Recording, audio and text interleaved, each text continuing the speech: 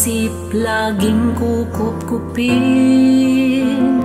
Mga gunitang sa atin nakarating. Bayan pukawin sa diwa't damdamin. Pangarap ng kahapon ating tuparin. Mabubuting bagay sisikaping saliksikin. Mga aral ng kahapon susulatin. Malayong kahapon sisikapin panglibutin Nalalaman atin pang payayabungin. Salam sa kaibig-ibig mong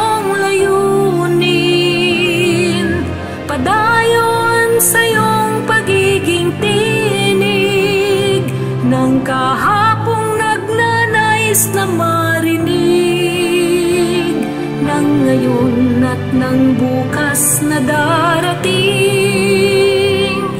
Luwid ka mananalaysay sa iyong papel. Turuan mga kababayan na daigin. Agam-agam sa sarili Tangal papag-alabin bayan ng kabutihan Landasin.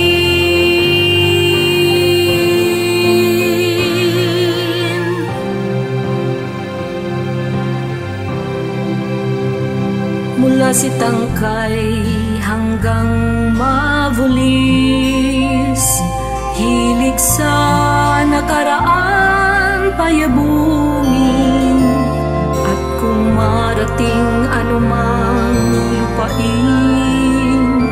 May pagtatanggol sarili ng may lalim. Salam sa kaibig-ibig mong layunin. Padayon sa iyong pagiging tinig Ng kahapong nagnanais na marinig. Ng ngayon at ng bukas na darating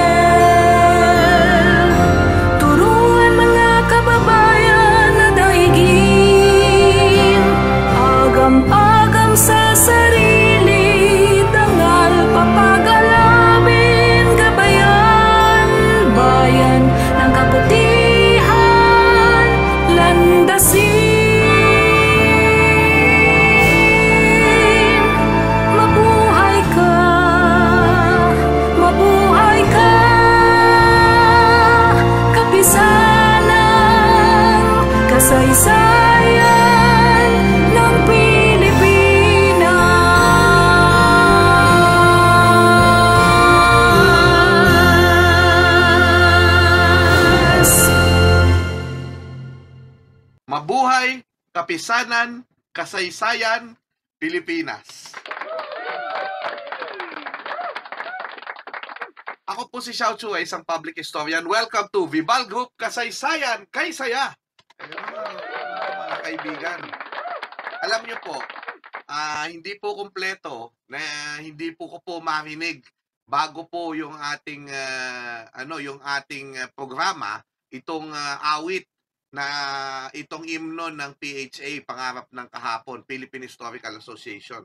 No, yan po ang pampagana ko. Ginawa po yan ni ano, Ryan Cayabyab at isinatitik ni Ian Christopher Alfonso. Dahil it sets the mood dun sa ating gagawin. No, lalong-lalo na ngayong gabing ito. No? So, ah wag na tayo magpatumpik-tumpik, no? Siguro uunahan ko na ng ah, ah, u- well, una sa lahat, birthday po ngayon, 159th birthday ng unang isa sa mga pioneer na public historian na Pilipino sa Pilipinas. Ang tagapagtatag ng La Solidaridad, wala pong iba kundi si Mariano Ponce, no? Yun, no? Mariano Ponce. Happy birthday, Mariano Ponce, no? Ah, ayun, nagpapasalamat tayo kay ah, Boss Gaspar Vival, Rio Brihino Lim, yan, si Christine Mandigma, si ah, si Tupe Vargas, Sandra Tea Omar, at sa lahat po ng ating mga kasama, ah, marami pong salamat sa pagtataguyod nyo ng ating show. No? Ah, itong ating inisyatiba. No? Salamat po. So, ano, no, wag na tayo magpatumpik-tumpik. Excited ang lahat. Kasi ho, eh, ito hong ah, guest natin mamaya, eh, napag-aaralan lang po nung iba. Ngayon po, mapapakinggan nyo po. No? Ah, meron na ho tayong 169 viewers. No? We have already have 11 shares and 62 comments. Mainit pa at nagsisimula pa lamang ang ating programa. No? Pasensya na kayo sa technical glitch kanina na nawala po yung ating sound. No? Kaya kailangan ulitin po natin yung ating team song kasi Ryan Kayabyab yun eh, di ba? So anyway, sige, ah sisimulan ko na po. Pakikilala ko po yung ating ah, co-host, special co-host ngayong araw na ito. No, dahil ang paksa po natin ay ay napakaganda, no? Ah, ito po ay tungkol sa definisyon, pagpapakahulugan sa bayan at kasaysayan. 'Yun. At kumuha po ako ng isang ah, ah, hindi ho siya cultural ah, worker, pero siya po ay isang nakababatang ah, nasa corporate world. Pero nakilala ko siya noon sa De La Salle University. Oo, noong ilang taon nang nakalilipas. At ah, siya po ay mahilig sa kasaysayan. Kaya gusto kong ipakita dito na ang kasaysayan po ay para sa lahat. Kahit po dun sa mga hindi guro, hindi ah, hindi estudyante, no?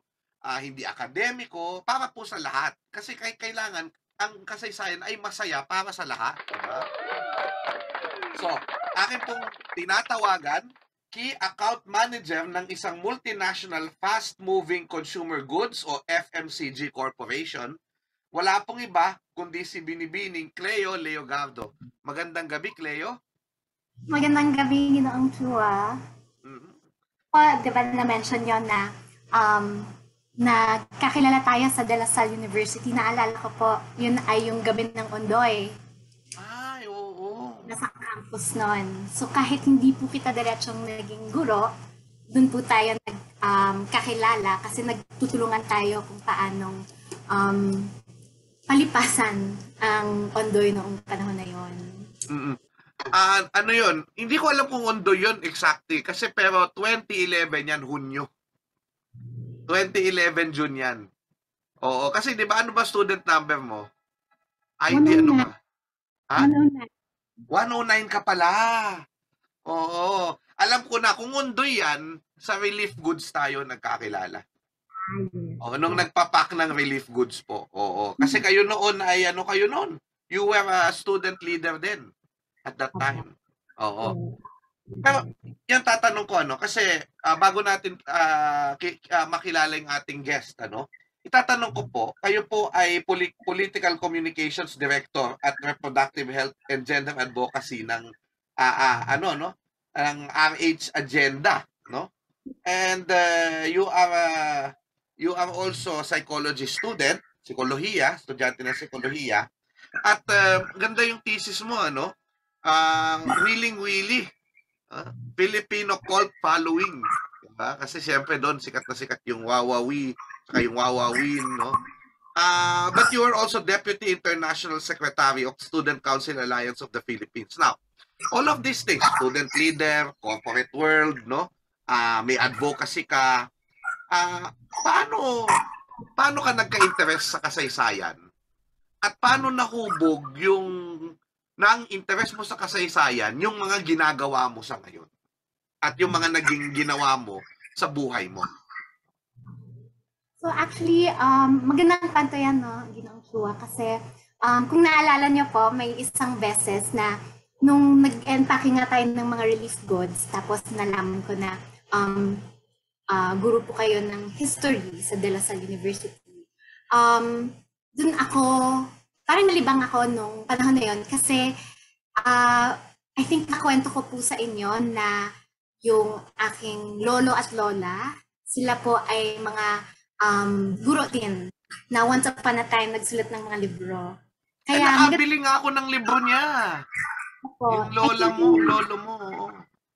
Opo, opo. Ah, nakapag-send ka mga po sa akin ng picture, parang Um, sa komunidad niyo po ng mga guro, I think, merong isang nag-abot sa iyo ng libro. Tapos sakto, um, dahil nga ang tanong ay paano, nag, paano ako nagka-interest sa um, Philippine history specifically. Um, ito ay dahil nga sa lola at lola ko. Kasi um, yung lola at lola kong yun, uh, magulang sila ng tatay ko. Tapos, yung hilig kasi namin ng tatay ko ay mga libro. So, meron isang store sa isang mall sa Makati, sa Glorieta dati, kung saan nakita namin yung libro nga ng mga parents ng tatay ko. At parang simula na doon, yun na yung parang naging simula kung paano namin na pag-uusapan ng daddy ko ang um, history at um, kung ano yung nagiging relevance niya sa araw ngayon. And na-mention niyo po earlier na uh, ako po nung nag-aaral ay student leader and mahalaga ang history para sa mga gaya natin na student leader dahil kailangan mo talaga makilala kung saan nanggagaling ang taong Pilipino para malaman mo rin sa sarili mo kung saan mo gustong pumunta yung um, mga tao, ah, mga Pilipino saan tayo ngayon. So, ano yan eh, yung kasaysayan, dahil nalalaman mo yung kwento ng ating bayan, nagiging motivation siya para sa iyong gawain. 'Di ba? Bilang isang student leader, meron kang ano no, meron kang agenda, meron kang isang adhikain. Ah, uh, yan, yan kaya ano, hindi na nagdala talaga ako dito ng isang minsan hindi siya hindi siya talaga necessarily a cultural worker in a strict sense But I I brought her here to show people na kahit sino po sa atin talagang pwedeng magkaroon ng ano, hilig sa kasaysayan. At isabi nga, may sinabi nun si John F. Kennedy Jr., no? si John F. Kennedy Jr., anak ni President John F. Kennedy, na kaya niya ginawa yung magazine na George ay dahil political uh, politics is too important to be left to politicians. Diba? uh, ako naman, uh, naniniwala ako na history is too important to be left only to historians. 'Di ba? The study of history can be left to historians, but the telling of history, 'di ba, is for everyone. 'Di ba? Salamat Cleo at mamaya sasamahan mo at may mga katanungan kami, tutulungan mo ako mamaya sa mga katanungan natin kay sa ating uh, uh, guest ngayon. So, thank you Cleo. Cleo, Eto na po, papakilala ko na po para sa inyong lahat. Uh, masayang masaya po ako, matagal ko na hong pangarap, kumahanap lang ako ng tiyempo kung paano sasabihin sa kanya, pero eto na po, at narito na po siya. Uh, siya po ay retiradong profesor ng Departamento ng Kasaysayan ng Universidad ng Pilipinas, Diliman, dating dekano ng Kolehiyo ng Agham Panlipunan at Pilosopiya ng Universidad ng Pilipinas, Diliman. Siya po ang itinuturing na ama ng bagong kasaysayan at tagapagdalumat ng pantayong pananaw. Wala pong iba kundi si Dr. Seus A. Salazar. Dr. Salazar, makasaysayang gabi po. Gandang gabi, Sean. Opo, um, at um, um, may kulay rosas po na gabi uh, sa inyo. Ha? Ay, kulay rosas ang aking dibdib. Tama po. Oh, ako magbabato ng unang tanong, Doc, ano? Kasi si Winston Churchill, oh, ay gumawa ng kanyang autobiography and he talked about his very first memory. Oh. At uh, kayo, Dr. Salazar, naaalala niyo po ba yung pinakauna niyong alaala, nung kayo, pinakamaagang alaala, nung kayo ay bata pa? Mahirap uh, tansyahin na yung pinakaunang alaala. Pero para sa akin, ang tumimo sa aking isipan na lugar ay ang Bakakay Albay. Bakakay Albay ay isang maliit na na bayan na parang niyo yung yunga ng mayon. Mm-hmm. Mm-hmm. Bata ako, hindi ko alam na mayroong ganun. ang para bagang aking nak- nakikita lamang yung nasa aking level. Hindi ko alam na mayroon na kayong yung na mayon eh. Maganda ang bakakay, no? Kasi yung tatay ko, nung panahong yun, ay judge sa bayan na yon.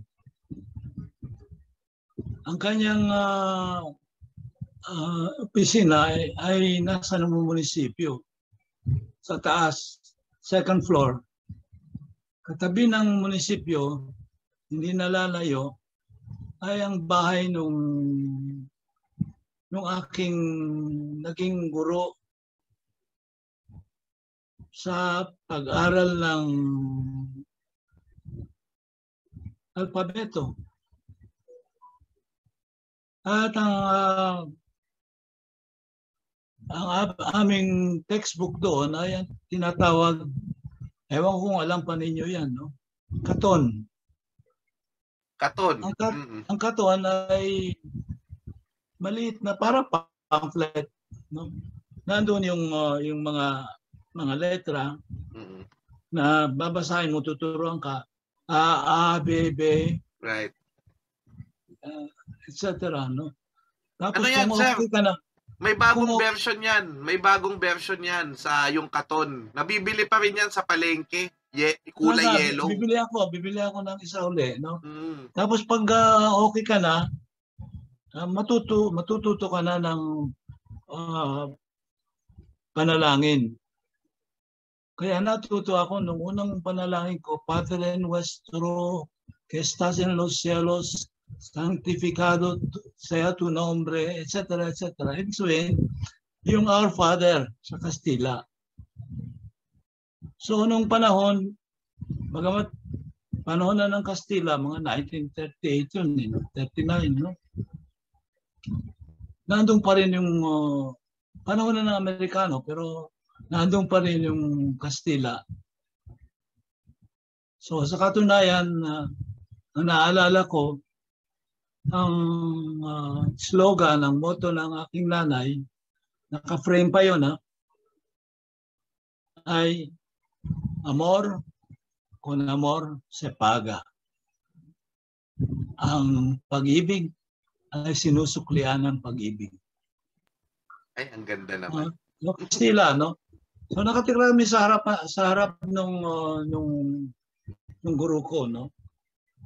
So madali lang punta roon tapos nandoon yung tatay ko sa nung marunong na ako mag uh, Padre Nuestro en los Cielos, ah dilalakasan ko yung ng gusto. Parang marinig nung tatay ko sa sa kanyang korte sa munisipyo. Yung naalala kong mabuti. no? Ah, sir, Ang isa ano naalala ko, Sige po, tuloy nyo. ang isang naalala ko ay na ang isang parang meeting de avance, avance political, no? At ang nagsasalitang politiko ay isang ewan ko Kastila o mistisong Kastila at ah, ang ang salita niya ay Kastila pero mayroon siyang ah, interpreter sa Bicol. Ang ibig sabihin, nung panahong yon, ang kapangyarihan sa maliliit na bayan ng ganyan ay marami pang Kastila. Now, eh, yung uh, munisipyo malapit sa simbahan. Yung uh, simbahan ay malaking kumbento. At uh, naiingit ako sa kumbento kasi yung bahay namin ay yung maliit na bahay ba to noon, no? Ah, sabi ko sa tatay ko, bakit hindi ka pa nagpare? Para kung nga- ngayon ay nakatira tayo sa kumbento. Sa katunayan, ang tatay ko ay nagpare. Pero hindi maka makatapos ah, umalis siya sa ano nga siguro malapit na sa matapos pero kasi yung nanay niya gusto niyang gusto siyang maging pare no? Umalis siya pumunta ng Maynila. At doon nag ah, naging abogado. Kaya edi judge kung, siya. kung naging pare yun, di walang seyo sa lasam sa mundo, no? Malay mo, malay mo, mga pare noon ay uh, katulad ng mga paring Kastila. No? Ah, so, ang ibig sabihin, kahit, uh, kahit uh, Pilipino na yung pare, eh, siguro naman mayroon din siyang uh, uh, tinatagong sekreto. No? ang naalala ko pa, kaugnay Hmm, nito, sige, sir. ay yung pare, yung mayor, ah, tatay ko, tapos yung representative ng ah, lugar na yon sa kongreso, na ninong ko, ay laging ah, nagsusugal sa bahay. Yung tinatawag na blackjack, alam mo yung blackjack? Ang tawag yan paminsan-minsan ay 21. So nag-ano siya, nag, nag at ako naman paikot-ikot sa round table. At isinisigaw ko yung ano, yung uh, baraha ng bawat isa. Eh, eh syempre, medyo galit sa nagalit sa akin. So grade 1 na ako noon eh. So nung uh, isang araw nung pum- pumunta ako sa eskwelahan, walang kabog-abog eh, sabi ng teacher ko, punta ka doon sa corner. Tumayo ka doon. Hindi ko alam kung bakit pinatatayo niya ako sa sulok ng ah, ah, kwarto. At yung buong oh, period na yon nakatayo ako. Yung pala, Mm. sinumbong ako ng pare. Ah, sobra yung aking pakikialam sa kanilang huwego, sa kanilang ah, sugal. Yun ang Mm. nakatimo sa aking ulo Mm. na alaala. Pero, Ah, ang ibig sabihin, mm, sige, sir. ilang historiador, nasa transition ta ngayon na tinitingnan ko, in-interpret ko eh. Mm. Nasa transition tayo mula sa panahong Kastila tungo sa panahong Amerikano. Hindi pa talaga gaga, ah, Mm. ganap yung yung panahong Amerikano. 1938 yun ha. Ibig Yes. sabihin, nando pa yung Kastila eh. Mm. Saka yung ah, tatay ko, yung ah, yung kanyang ah, mga mga libro ah, sa sa batas ay ah, sa Kastila pa. Ngayon yung tatay ko, ako yan. Mapupunan ninyo na mayroon akong ah, espada. Dala-dala ko ang espada. Ayun, oo. oo. Nahirapan yung tatay kong tawagin ako kasi pa, paikot-ikot ako parang magkaroon ng picture na ganyan. Naalala ko pa yan. Wow. Ito po. Yung tatay ko nasa middle, no? Ah, Mhm. yung uh, maliit na na batang yan ngayon ay yung pinaka pinakabunso namin. Mm. Nasa Texas siya ngayon. Mm. Nasaan kayo dito? Kayo ba yung nasa dulong kanan? Ay, nung kinuha yan, nung kinuha yan, nasa Paris ako. Ah, nasa Paris. Nag-aaral ako sa Europe. Ayan. Pero sir, ah, maganda yung sinabi nyo kasi the earliest memory, sabi nga ni, parang ang interpretation na, kaya pinag-aralan namin yan nung masters eh, na magandang tignan yung first memory kasi dinidefine niya yung pagkatao mo.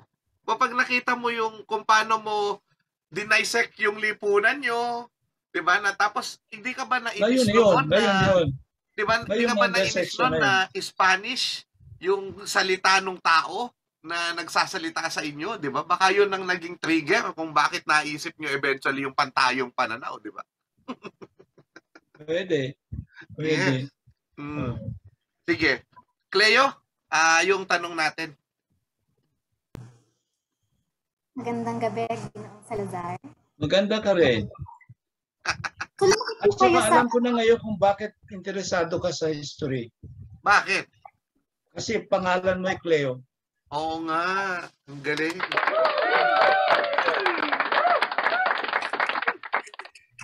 Nawala sa isip ko yun ha, Cleo. Kasi Cleo yun eh.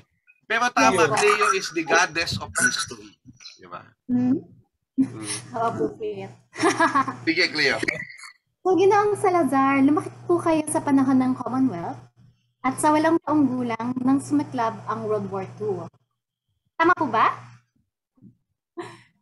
So, ano po ang alaala ninyo sa mga panahon ito na humubog sa inyong pagkatao? Medyo katulad na yung earliest memory ko, eh, no? Ah, siguro yung panahong panahon ng hapon Yes, sir. Yes. Ah, kasi nabulabog yung buhay ng buong pamilya, no? Nung ah, alam ko nung 1942 ah inaresto yung hindi naman inaresto ki- kinuha yung tatay ko ah, at ah, ng mga hapon Ah, of course, uh, pinakawalan siya ng uh, after a while. At uh, kailangan naming uh, lumikas sa isang lugar sa doon sa lugar kung saan ako pinanganak, Tiwi Albay. Tiwi noong panahon yun, Tiwi Albay, actually hindi Tiwi Albay as such, isang baryo doon, no? Nang tawag ay Naga o paminsan-minsan tawag doon bisitang naga. Alam niyo kung anong bisita? Ang ibig sabihin, walang simbahan doon. Binibisita lang ng pare, paminsan-minsan. Mayroong kapilya, pero at the same time, yung uh, lugar na yon ay parang, ang tawag din doon ay banyo. Kasi mayroon doong uh, bukal na uh, mainit doon doon magkaan gumawa ng parang resort at ah, yung mga may sakit na hapon o nagpapa nagpapagaling ay nagkaroon ng doon doon sila tumira no? Banyo parang Um, ano, di ba? Los Baños parang pa- spring, correct paliguan. No? correct oo, oo, oo. paliguan talaga yun Mm. so ang, ang daming mga hapon doon at that time at ah, lagi kaming ah, naglalaro doon minsan-minsan na isang, me- isang beses eh naghahagisan kami ng ano ng ng sand ano man tawag sa sand sa Tagalog uh, Pagkaroon kami, no? Naghahagisan ng dalawa kaming dalawa. Buhangin. Buhangin, no? At tinamaan yung hapo-hapon. Ah, ah, sinipa ako ng hapon. My, my first, ang unang ah, karanasan ko ng uh, okupasyong hapon, nasipa ako, no? Grabe. Ano po yun, Ginoo? Ah, nakakapag-usap ba kayo? Sila ba ay may kasamang parang translator? Para pagalitan kayo? Or basta, Tinamaan nung, ha, nung buhangin eh. oo. Tinamaan nung buhangin. So, sinipa niya ako. Mula Oo. ng salin-salin. Ano? Yung panahon yun din ay ah, nag-aaral ako sa sa mismong bayan ng ah, Tiwi. Medyo malayo yun, mga tat- tatlong kilometro, lima. Lagi kaming, nung kapatid ko, naglalakad, parot pa rito. At ah, isang beses medyo nagkagalitan kami ng isang isang ano, isang ah, kaklase ko. May kapatid siya, mas matang mas ah, bata, mas ah, matanda, nakaklase ko rin, no? Pero galit na galit ako. Ewan ko kung bakit ah, na hindi ko na maalala. So, mabilis akong bumalik sa bahay at tinapon ko yung aking mga libro. Sabi ko sa nanay ko, makikipag ah, makipaglaban ako. Kasi yung nanay ko ayaw, huwag kang makikipag-away ha. Wow. So, hinintay ko sa harap ng bahay namin yung bata. At uh, nagsuntukan kami. Ah, actually, medyo bakla ako nung panahon yun siguro. Pati ngipin ko, ginamit ko. Mm. Kinagat ko yung, yung kanyang tenga, halos ah, matanggal yung tenga niya. Ano yan? Parang si... Sino nga ba? yun? Tyson and Holyfield. Di ba? Si Evander. Holyfield eh. Di ba? Anyway, nangyari na, ah, pagkatapos noon, eh, binabantaan ako nung, ano, nung matandang, mas matandang ah, Bata. Uh, kapatid niya. mm. At ah, marami na nagsasabi na may mangyayari sa akin. So, ang nangyari dyan ay sabi ng nanay ko, ah, alis ka na rito, punta ka na sa auntie mo sa Malilipot. Mm, mm, mm, mm. Malilipot ay isang ba- bayan na napakalayo. Halimbawa, ito, narito ang ah, narito ang tiwi. Punta ka muna sa Malinaw. Mm, mm. Malinaw ay isang bayan kung saan na ah, pinangaya, pinanganak ang isang general na Bicol.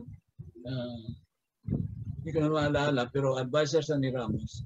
Mm. Tapos, dadaan ka malayo, malilipot malayo. Ah, sinamahan ako ng aking nana, ng aking auntie. Naglakad kami. Nung panahon yun, walang ano eh. Walang, walang mga jeep o ano pa man. Naglakad kami. Mula sa sa banyo hanggang sa malilipot. Dumating kami sa malilipot siguro mga alas dos ng, ng hapon. So, noong panahon yun, doon ako nakumuha ng ano ng ah, ng ah, grade 3 yata. Mm, mm, Grade 3. Sir, At yung tinutukoy niyo general, si Almonte yon. si Almonte, Almonte. yeah, Almonte, correct. Id- Almonte. Idolo natin yon taga-Albay nga yun. Oo. Almonte, malilipot, ah, ah, malinaw. Malinaw. Malinaw po, uh, Albay, Almonte. Anyway, doon ako nagkaroon ng aking first love. Mm. Yung, Ang ka, landi.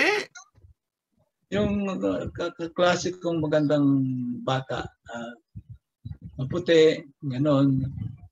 Nagkaroon kami ng ah, parang, ah, parang anong tawag yan, parang play. Mm, Ako, ako ang naging doktor. At siya yung ah, ginagamot ko. mm. Alam mo kung nakakakilig din yun, di ba? Di ba? Oo. Ginagamot. Anyway, yan ang pagkaalala ko. After that, eh, lumipat ang tatay ko sa Maynila. Kami, yung buong Maynila. Alam, ewan ko kung alam niyo yung street, Novaliches San Miguel. Ang Novaliches Street sa San Miguel? San Miguel. Diyan yung pro, pro, pro cathedral. Yes. Simbahan dyan, maganda, maliit lang. Malapit sa Malacanang. Yes. Sa Yes. tabi ng ano, sa tabi ng ah, sim- ah, simbahan, hindi, sa likod ng simbahan ay yung San Miguel Brewery Mm. at that time. Yes. At ah, sa tabi ng ano, sa isang tabi ng simbahan, sa kanang kaliwa, ay ang Singyan Hospital. Hospital noon. No? So doon ako, doon ako nakatira at that time. Siyempre, tapos so, nandiyan na yung mga Amerikano. So you saw the destruction, eh, sorry, English. Ah, nakita nyo yung ano, yung pagkawasak ng Maynila noong Pebrero 1945? Nandoon pala kayo?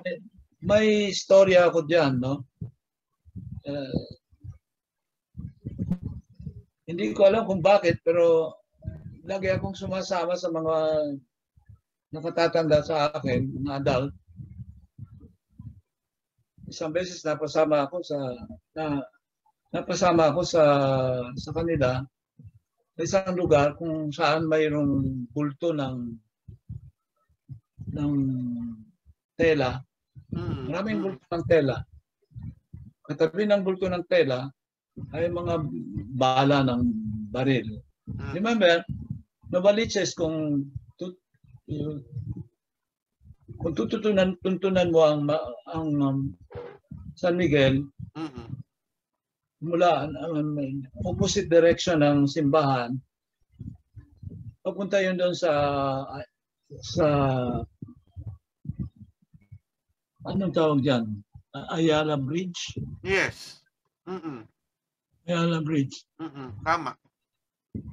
habang uh, nandun kami nag uh, kumuha ka ng mga bulto nakaupo na ako sa bulto eh isang bulto sabi ko ah, ito ang akin no laki-laki ng bulto eh may dumaan na na ano na hapon.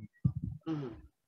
Akala namin na babariling kami. Whatever. Yung pala, dumiretso na siya doon sa tulay Mm-mm.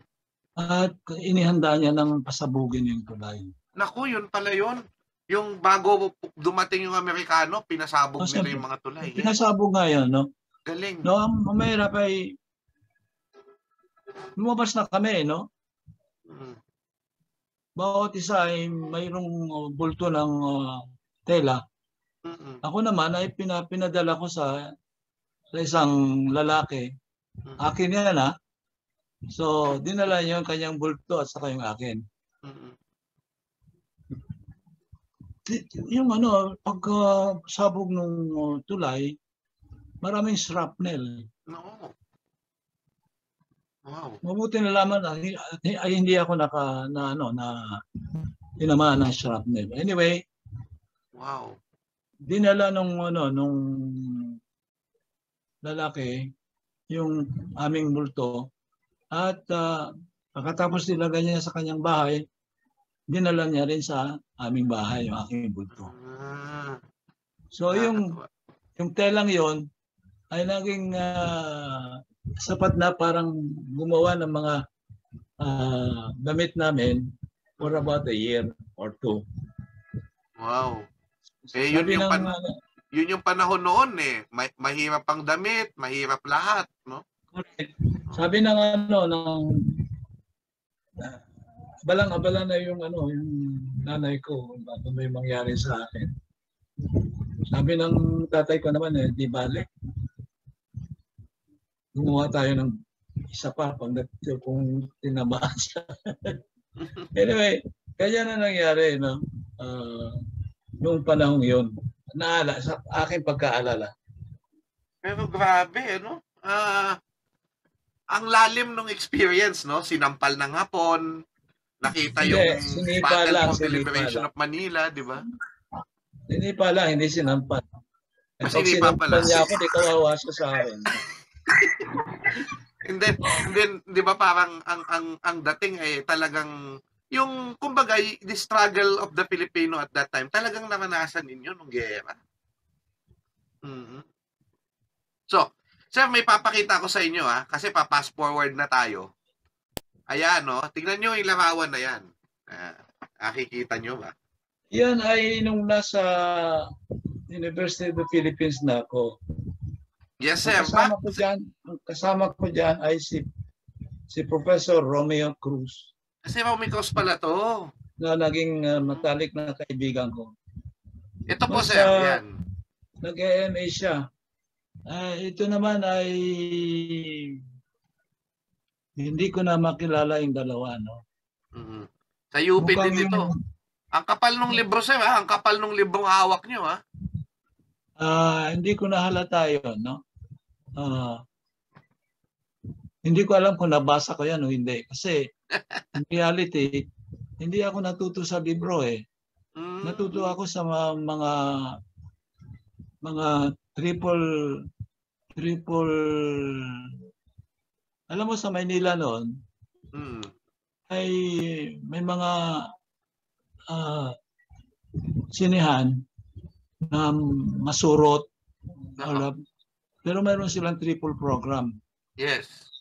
Ang ibig sabihin, pag pumasok ka, tatlong movies ang makikita mo. Correct. So, kaya doon ako natuto ng, uh, ng English, uh, Tagalog din. Alam mo, na, ala, ala, ngayon nandiyan pa yung time eh. Yes. Hindi hindi yung hindi yung uh, movie ng ano na masurot. Talagang ano yung tunay na movie yon. Yung time nandiyan pa hindi ba? Nakikita niyo paminsan-minsan. Sa Quiapo. Ano sir, building na lang. Pero time, Mhm. dakilang ano yan, ah ah, movie noon, time, tapos Dalisay, at saka ah, Ideal. Ideal sa Rizal Avenue yun eh. Nakakatuwa ano? Kasama pala kayo sa henerasyon ng mga Pilipino na nanood at medyo nagkaroon ng in a way, acculturation o familiarity with the culture. American movies. Nung early American Siyempre. movies, ano? Mhm. Pero ang ah, American movie noon ay marami, marami akong nakita, napanood, ay yung tipong The Phantom. Mhm, mhm. Kilala mo ah, kung sino yung si Phantom? Not Phantom of the Opera, Phantom. Mm. Kwento Hindi niyo nyo sir. alam, no? Eh, si Phantom ay, ay ah, isang um, uniforme tapos ah, nasa feeling siya ng mga dwarfs. Mm. Fighter siya, no? Mm, mm, mm. Parang na, nakita mo, ko na nga yan noon. Nawala. Nawala yun, pero very common yun. No? Ah, sa time, doon ko unang doon ko napanood yung classic ng Japanese time. Tatlong Maria. Mhm. Eh, nag-usap kami diyan ni uh, Deo Campo. Di na wala siyang mahanap na kopya ng Tatlong Maria. Tatlong Maria, propaganda film yun ng hapon. No? Napanood ko yun. May komento si Professor Carlos Tatel dito na guru ko na naging estudyante nyo na sinabi niya na Phantom ay serialized din noon sa dyaryo. Ang tanong ko sir ito, no? Um, nung mga 1950s, bakit po kayo pumasok sa history? Ano ang nag-udyok sa inyo na history yung pasukin sa UP Diliman? Actually, dahil ang aking tatay ay ah, abogado, ang ah, ang gusto niya ay maging abogado ako. At nang ah, pumasok ako sa UP, ay upang ihanda ko ah, pa- para maging abogado. Tulad ng alam mo, dadaan ka muna sa AB, AB, Yes. AB, any kind of AB, UP bago ka pumasok sa ah, College of Law. So, nandun ako uh, upang maganda para sa College of Law. Eh, unfortunately or unfortunately, Mhm. nagkaroon ako ng mga professor na interesting, lalo na si Dr. Forrest Ganson. Si Dr. Mhm. Forrest Ganson ay isang dakilang historiadora. At siya ang naging paborito kong teacher sa history. At uh, ewan ko, hinayar nila ako bilang student assistant sa Department of History. So yun ang simula. Kumuha ako ng kumuha ng uh, history history subjects si Dr. Ganson ang aking mentor. Mhm. Ito po, no, may, naka, may nahanap ako larawan niya nung siya bata-bata pa.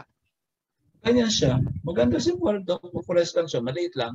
mm Matanda, siya, matanda na siya noon.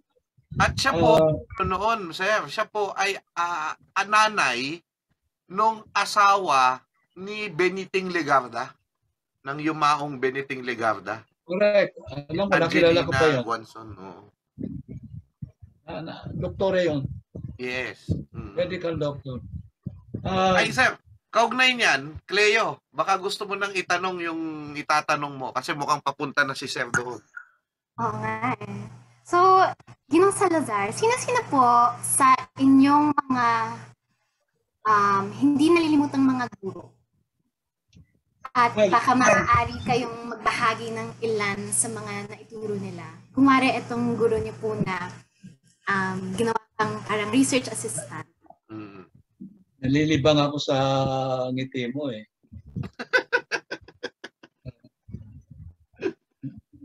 Hindi ko na alam kung anong sasagot ko. Pero, ah, ang sa katotohanan, maraming interesanting profesor sa sa UP. Kasi ang tanong na yan, pwedeng hatiin ko sa dalawa eh. Sa, sa UP at sa Paris. Di ba? Si- Sige, pwede. Yes, sir. Opo. Ano ba ang, ang gusto ninyo? eh? Pwede yan, sir. UP lang. Pareho po. Pareho, pareho. So, sa UP, maraming interesanting uh, profesor. Um, Departamento ng Kasaysayan, uh, siguro si Dr. Pavilla, Pavilla ang isang interesante bukod kay Forrest Ganson, talagang iniidolo ko. No? Dahil siya yung ano, yung- siya yung mungkahi. Napalitan yung ah, yung uh, pagdiriwan ng ating ah, Independence Day. independence na July July 4. Di ba? Yes, sir. inilipat niya sa yung sineselebrate ngayon doon. Nung ano yan, former president of the Philippine Historical Association. Yan, ayan po. Whatever, no? Ah, Elia. Oo, siya yun. Ah, hindi gaanong magandang lalaki. Taga Romblon yan eh. Ko. Ah, well, pinag pinag pinag uh, pinagko-correct niya ako ng mga papers kasi medyo tamad siguro, no? Paper na parang pa Ganon din si Dr. Forrest Ganson. eh. Mara, maraming test papers na ako nang ko-correct. At ah, sabi niya, nabasa niya yung aking uh, grade, eh, kung estudyante mo ako, hindi ako makakapasa. Masyado ka namang stricto. Ah, so, yung, yung dalawa, yung dalawang yun siguro, eh, isa pang naging naalala kong mga magaling na profesor ay si uh, ano pangalan nito? Hindi ko na maalala yung pangalan eh. Sa UP? Sa UP, Mm. siya yung hiningan ko ng recommendation para makapunta ko ng Paris. At ang kanyang recommendation ay uh, is uh, okay siya except that when when he argues he argues like a lawyer. Eh, what's wrong with that? Eh, eh, favorite niya rin ako, no? Nung bumalik ako, ginawa niya ako ng, ginawa, ano siya, um, dean ng, ng graduate school ng UP. Mm. hinirang niya akong secretary ng graduate school. Hindi siya historiador. Hindi siya historiador, ano sa English. English. Epistola? No, epistola hindi. Bata pa yun si epistola. Hmm, Ah, mas matanda pa. ako. So, ayun na, ayun na Ang isa pa siguro ay yung ano, yung naging guro namin sa Frances. Kasi siya yung ah i, i, si, nag ah, nagmungkay sa akin na mag-apply sa ano to, ah, embahada ng Pransya na wala pa yung am- am- ambassador, di chargé d'affaires, upang ma-apply para magkaroon ng scholarship sa Pransya.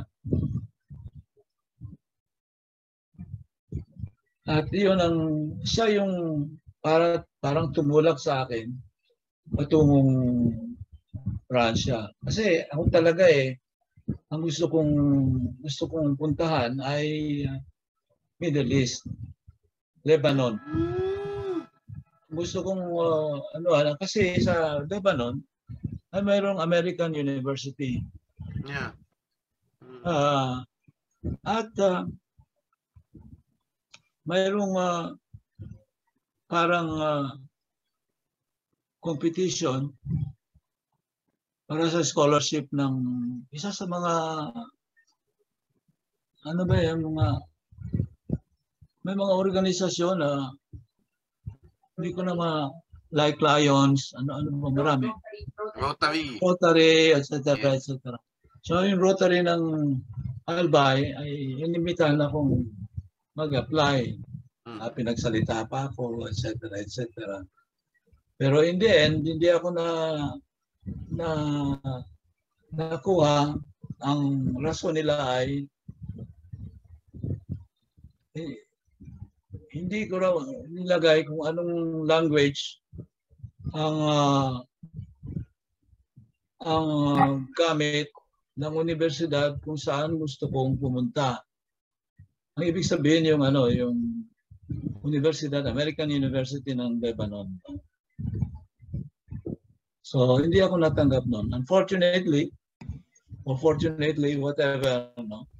Yeah. Kasi siguro mahihirapan ako, siguro mahihirapan ako doon sa ano, doon sa Arabic. sa Ar- Arabic ah, Hmm. matututo akong Arabic. Ah, mahihirapan ako siguro kasi lahat ng mga babae ay ah, nagtatago ng kanilang mukha. At ah, hindi mo alam kung na kung kung umingiti sila sa iyo, sa inyo, sa iyo o hindi. Hmm. Hmm. Hmm. Kailangan mo lang magbasa kung uh, magbasa ng ng mga mata. Kung mapupungay, kung Hmm. galit, etc. Unfortunately for me, that's unfortunately, no. Hmm. Hmm. Pero fortunately, dahil Paris, Paris ay isang talagang bagong mundo Right. Hmm. para sa akin. So sir, sino So- yung ano? Sino nga yung naging ano nyo doon? Naging favorite teachers nyo doon sa Paris? Yung mga tumatak Ah, inyo? siyempre, ang daming kasi una nag-aaral ako ng ano ng ah,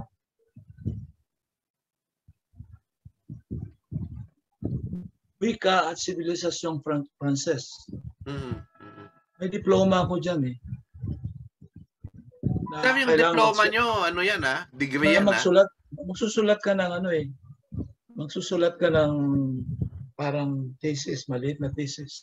Hmm. Parang matapos ka dyan. No? Totoo yung degree nyo sir ah? Hindi peke yan ah? Ah, okay. Nagbibiro lang ako. Actually, actually, ang ah, yung yung thesis ko diyan sa longest civilization française ay inilathala ng Philippine Social Sciences and review, yung review rito. Ang tawag dyan ay, ay Malraux et la Révolte de l'Asie. Mm, Malraux and the Revolt of Asia. mm, Mababasa niyo yan, no, Francis? Nag-aral din ako ng Ruso mm. at nag-aral din ako ng Malay Indonesian. So ang daming teacher dyan, no? Ah, Grabe. ah, at of course, nag-aral ako ng anthropology. Mas importante para sa akin yun. No? Ang bukod dyan pala, nag-aral ako ng isang taon sa Berlin. Mm, Doon ako nagsimula ng ano, mag-aral ng ah, ng ethnology mm, at ng ah, Sanskrit. Sanskrit ba?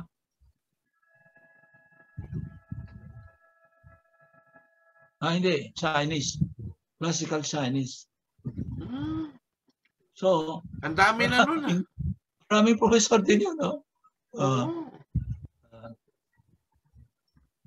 si Vespal Helbush, yung aking professor, sabi niya, sulatin mo na yung dissertation mo.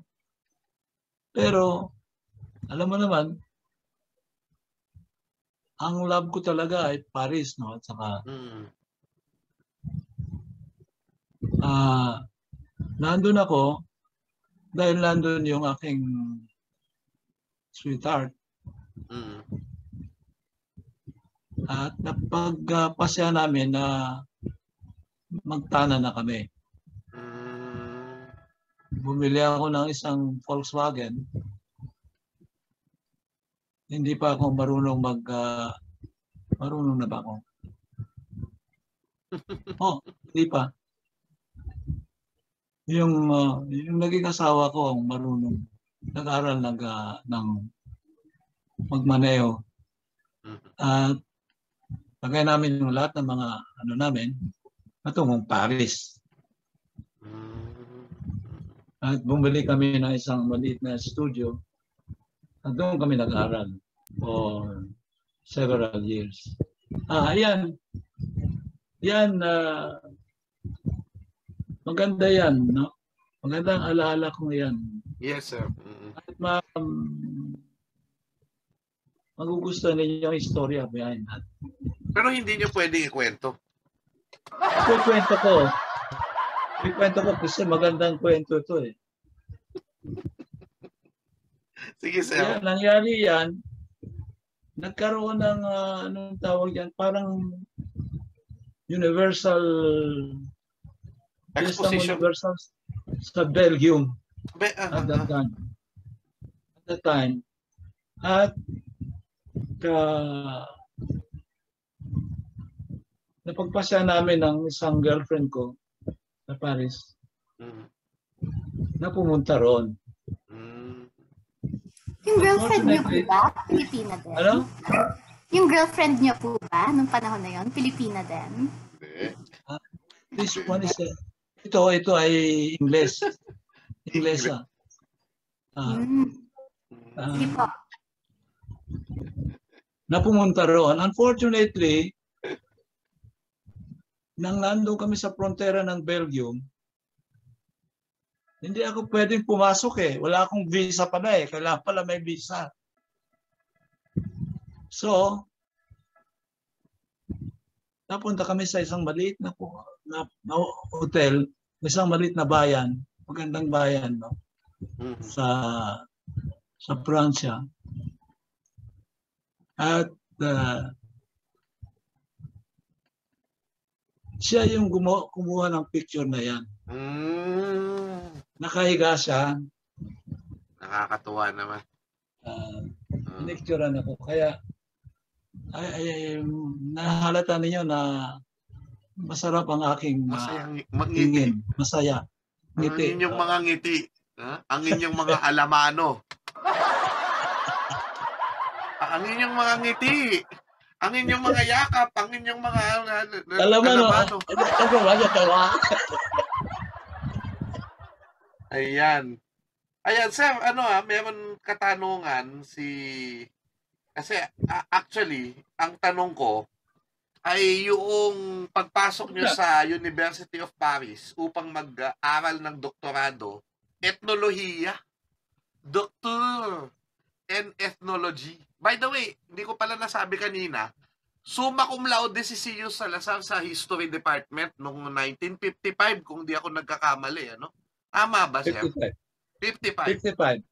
Summa cum laude. yun, Nung panahon mo yun, iisa lang ay mga ang mga ganyan. Mm. Ngayon sa sa, sa UP yata, mayroon ng mga sampo o dalawampu. For many years, sir, ah, kayo lang ni Dr. Robles ng Lasal ang summa cum laude. Hindi, mayroon pa. Si Lin o Lim. Sa mathematics yata. Hindi, sir, sa history. No, for many years, si Robles ng Lasal. Ah, hindi, Robles, Robles, estudyante ko yan eh.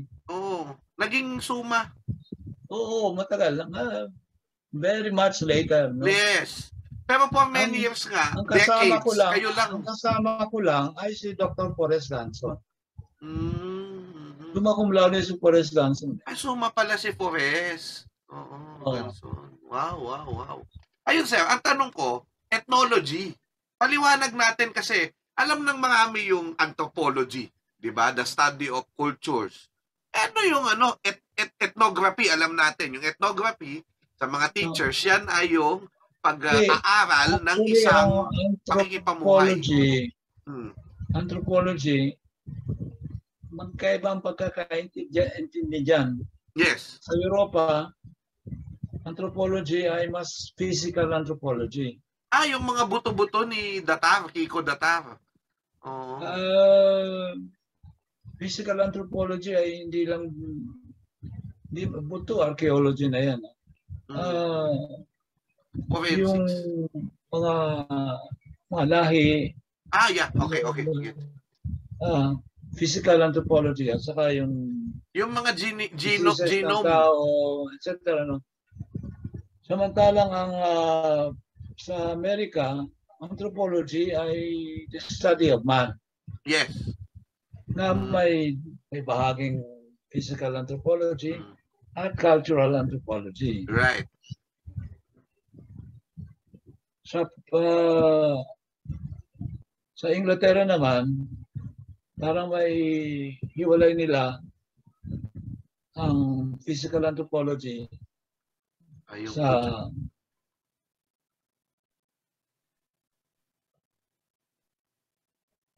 tinatawag nila cultural anthropology. Cultural, Yung ah, yes. cultural anthropology yan ay English ay katumbas ng ethnology. Ito. Except except ang ethnology ay mas specific in the sense na anthropology the study of man, no? Yes. tao.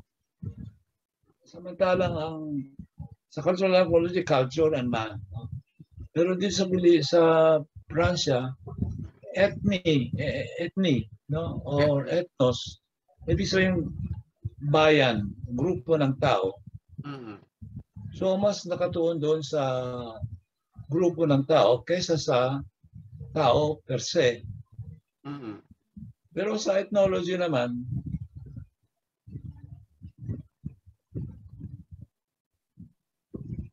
mas mas impor- importante diyan yung tinatawag na ethnography. Mm. Ang ethnography ay ang katumbas na pananaliksik ng ethnology. Ang ethnography ay pupunta ka doon sa sa sa lugar kung saan ang ethnic group titira ka doon ng isang taon, dalawang taon Right. para mapag-aralan kung paano sila na, nabubuhay, kung paano yung paano ang kanilang pamilya, how they call, uh, call one another, Mm. etc. etc. So yun ang ethnology, ay ethnography. Tapos magulat ka dyan. Yung mga ulat na yon, pag-aaralan ng isang ethno, uh, ethnologist. Yun. Mm. At mula dyan titingnan yung common elements Ganda. ng kultura, Mm. kultura ng mga grupong etniko. Right. Yan ang ethnology. Halimbawa, si Levi Strauss, ah, of course, napunta ng Brazilian at saka nagkaroon ng isang parang ethnography. Pero, nang nagdoktorado siya, ang pinag-aralan niya ay yung tinatawag na kakonte. Kakonte, ibig sabihin, yung yung kung paano ang mga pamilya pa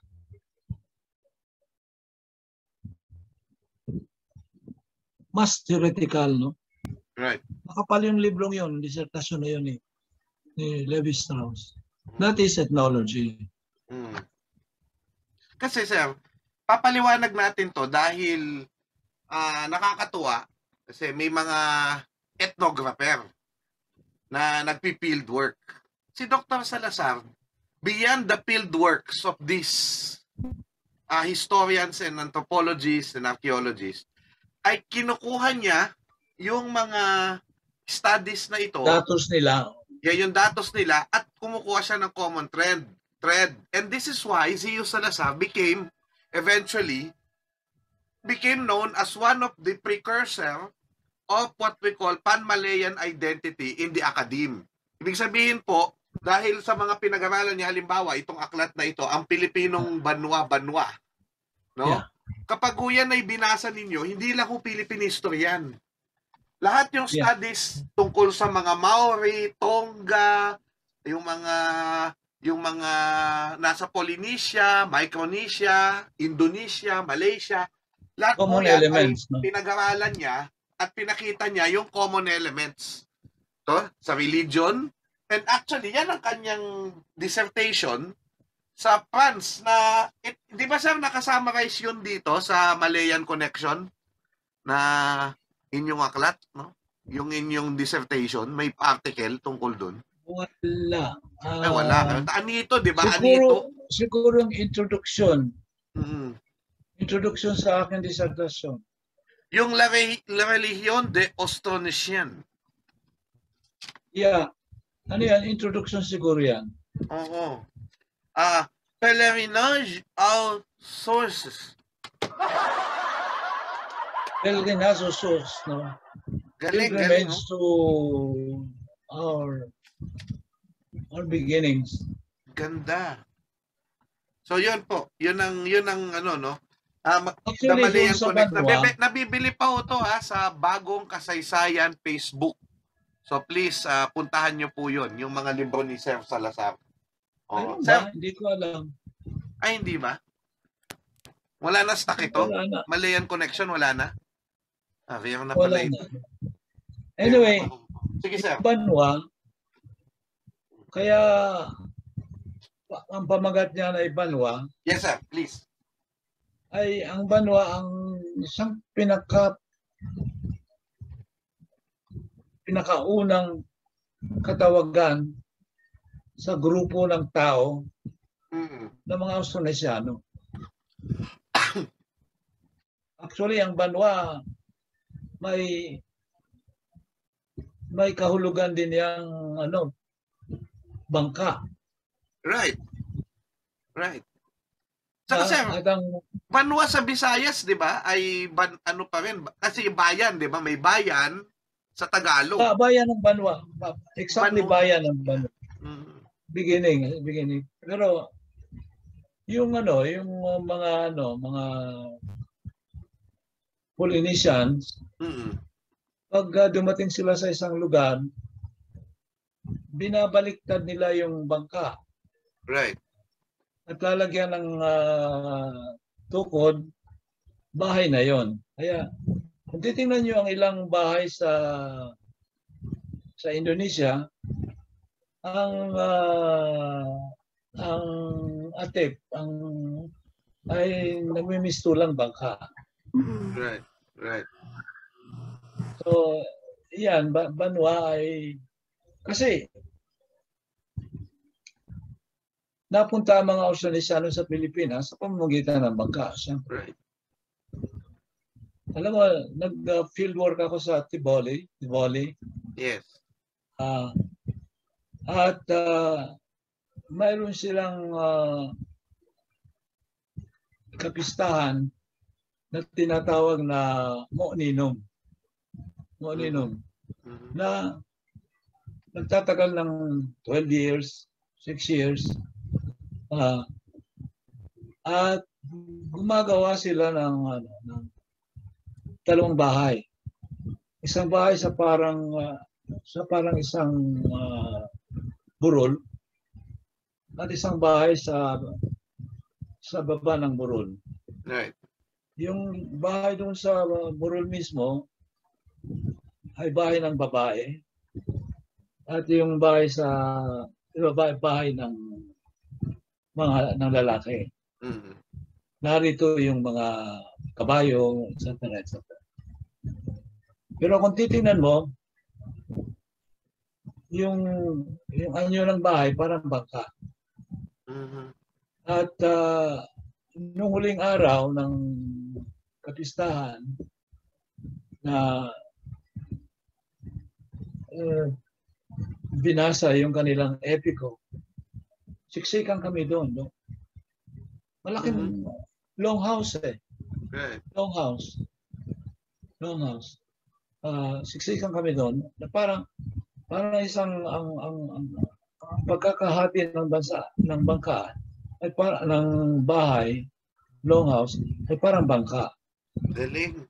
In the middle ay may parang ah, ah, kusina at doon sa eh, front at saka sa basta ganun, no? At ah, kinakanta yung epiko at the last uh, last evening. Siksikan kami. Malamig, malamig sa Tiboli eh. Yeah. Malamig. Pero nag, nag-generate generate ka ng maraming ah, ah, init. So in the end, uh, komportable ka. Bu hanggang, hanggang ha- madaling araw yung pagbasa ng ng ano ng uh, epiko. Tod bulol. Wait lang ha. Pinapabati kayo ng aking nanay. Vilma Briones Chua. Nanonood Maraming salamat. Matagal ko Opo. hindi nakikita ang nanay mo. Birthday niya kahapon. Happy 61st birthday, Mama. I love you very much. Ano? Yung kapatid niya, nanonood din. Kapatid niya, si Edna Apundar Daed. At si Pamela Mascareñas yung anak. Kuya Dani, ah, Tito Dani, ang asawa ngayon ni Tita Edna. Maraming salamat po.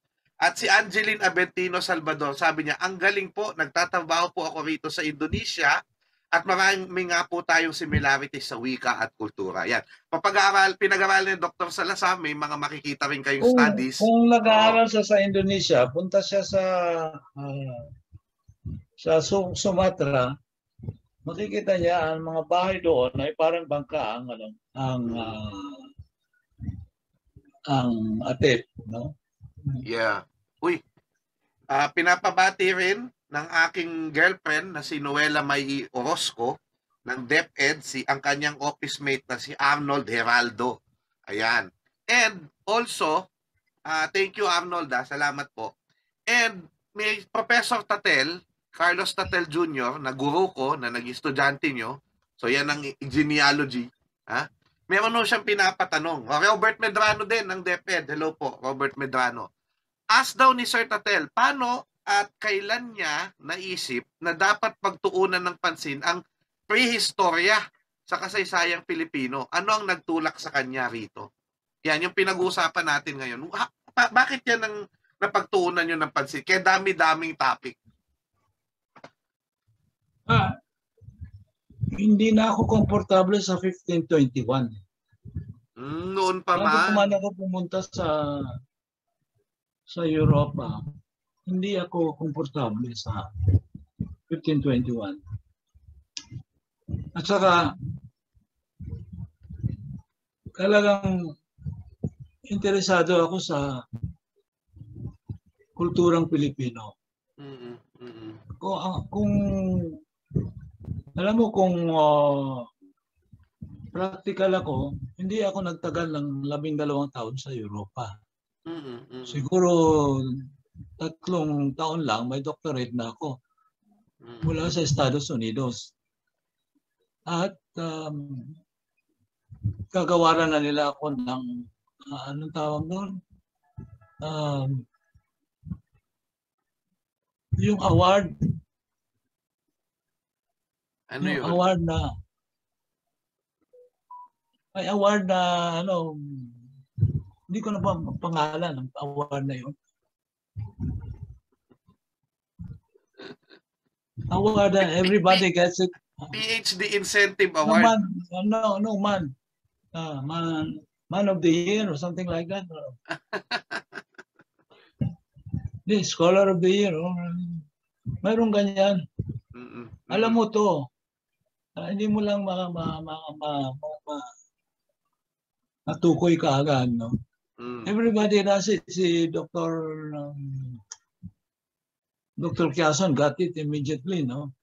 Ah, ah, ah. Yung parang okay ka.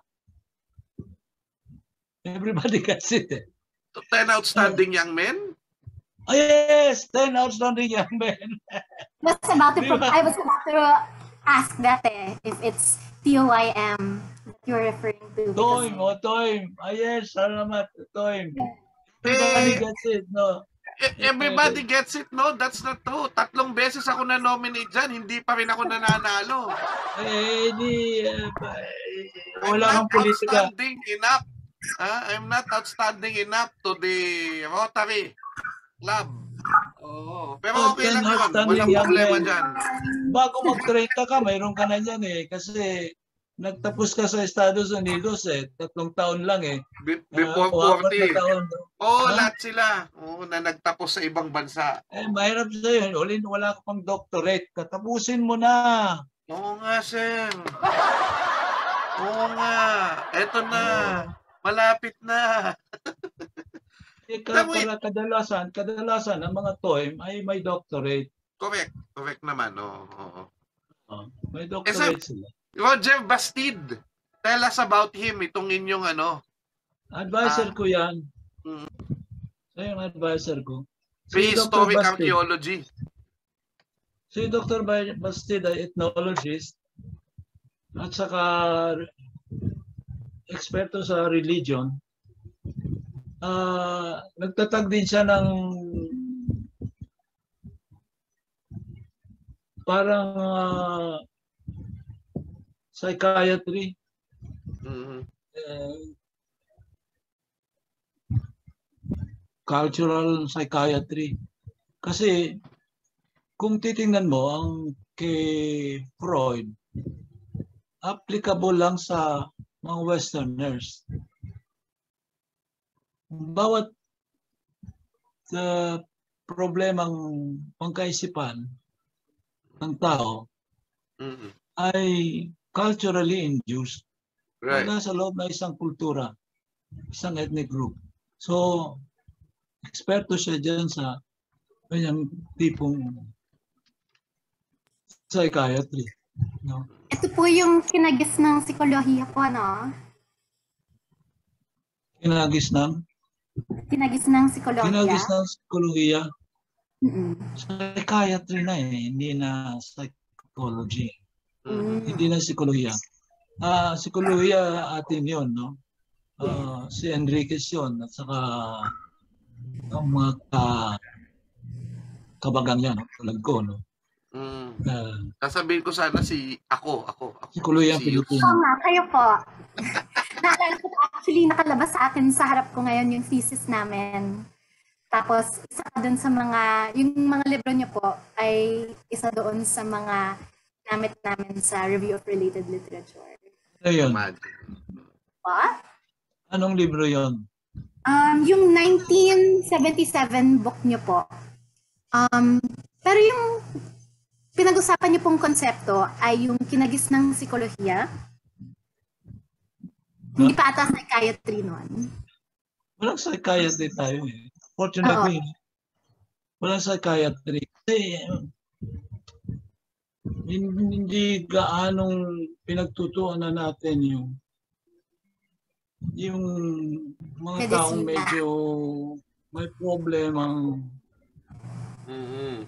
patungo sa pagkabaliw, no? Ah, siguro natukoy na ng konti yan, pero wala pa talagang nag, ah, nag-aaral yan. Ano bang, ano ba para sa atin ang baliw? What do you mean? Baliw.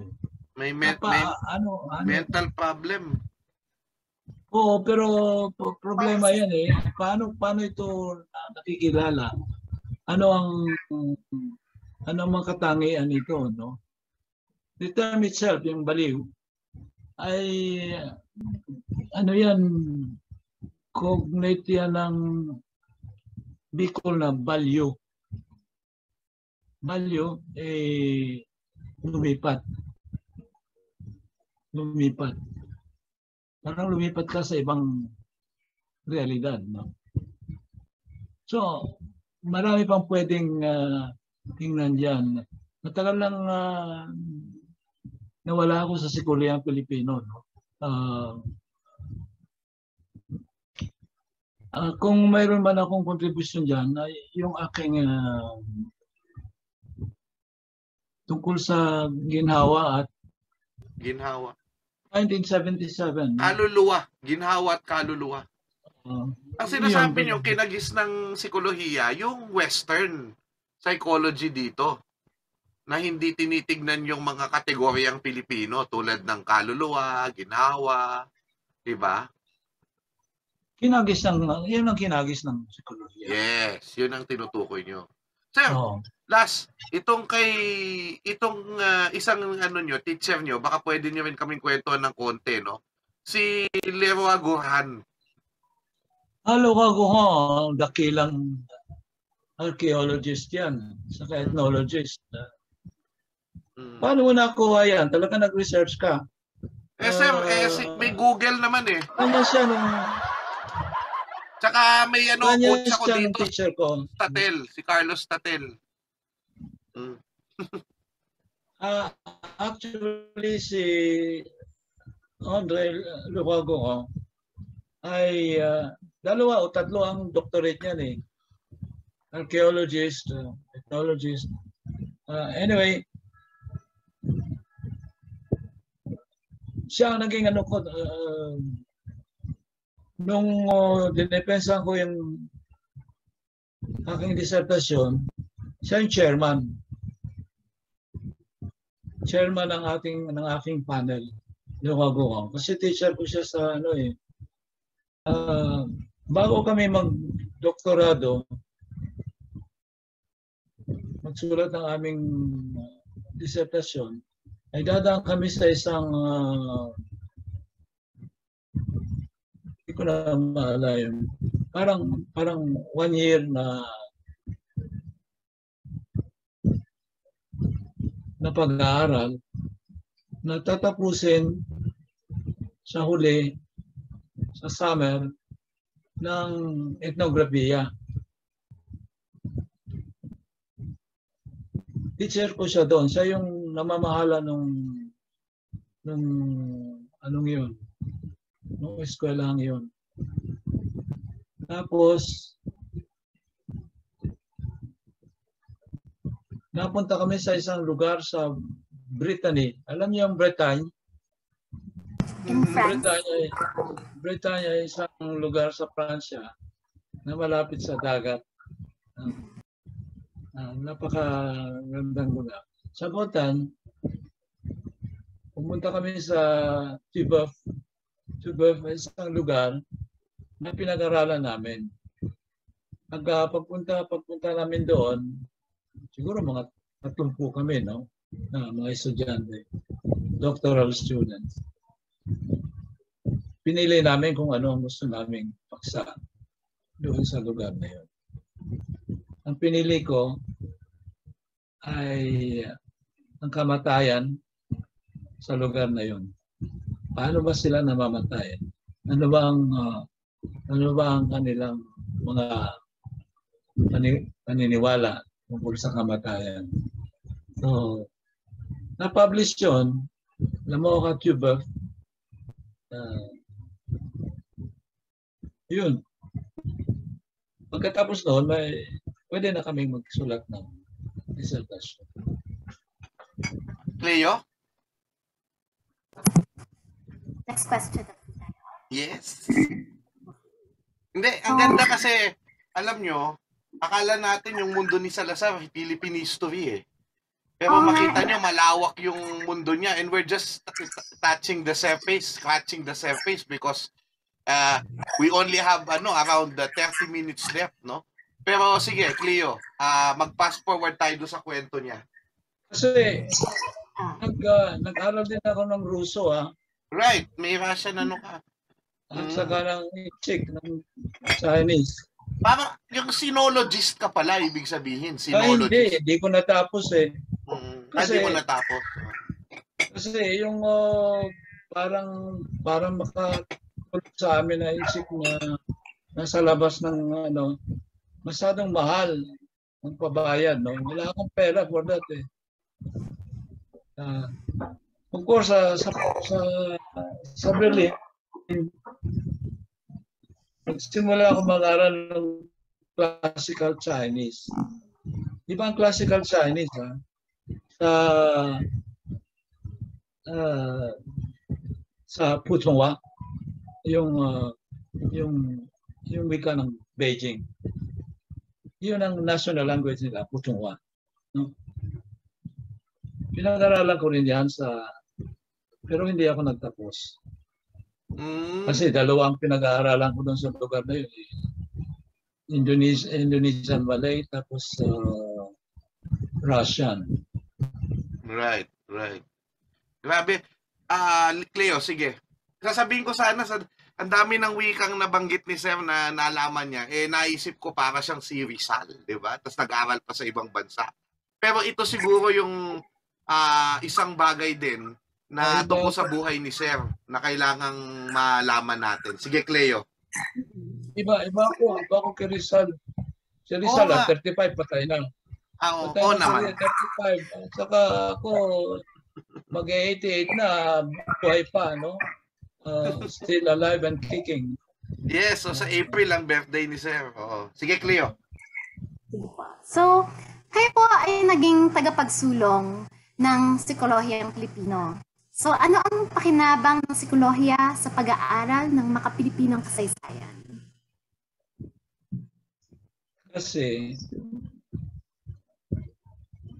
ang pinaka-importanting kumukupkop sa mga Pilipino ay isang kabuuan na tinatawag nating bayan. At ang bayan yan ay nagkaroon ng mahabang kasaysayan. Nagkaroon lamang ng halimbawa, yung bayan, marang mga bayan yon noong 1521. No? Tapos nung panahon lang ni Bonifacio ay nagkaroon ng ideya na inang bayan, mas malawak, archipelagic. So yan, parang konteksto ng ng mga Pinoy o ng mga Bisaya, kung Bisaya yung bayan noon, o Tagalog, Tagalog yung bayan noon. Sa loob ng anong yan ay mayroong pakikipag-ugnay ang mga tao. Nakikipag-ugnay sila sa pamamagitan ng mga konsepto na makikita natin sa wika. Ang konsepto ay hindi lamang taga salita, kundi yung naka nakakabit doon na behavior. Di ba? Mm. Tingnan natin ang konsepto ng kuya. no? Walang konseptong kuya sa sa English, sa elder brother. Yan. Pero walang konseptong ganyan. Ganun. No? behavior mo, anong behavior? In relation to the parents. Kung pumapalpak yung parents, ang kuyang ah, ang ah, napagtutuunan ng responsibilidad. Mm. So in relation to to the other siblings, ano ang behavior niya? At yung mga siblings, anong behavior mo sa kuya? Pwede mo, pwede mo bang pagtawanan yung kuya mo? Yeah. No? At anong, anong, anong behavior mo doon sa sa mga kapatid mo? Eh, punta natin si Bonifacio, no? Kuya si Bonifacio eh.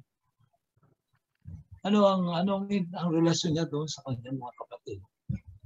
At ano ang ah, ang behavior ng mga kapatid sa kanya?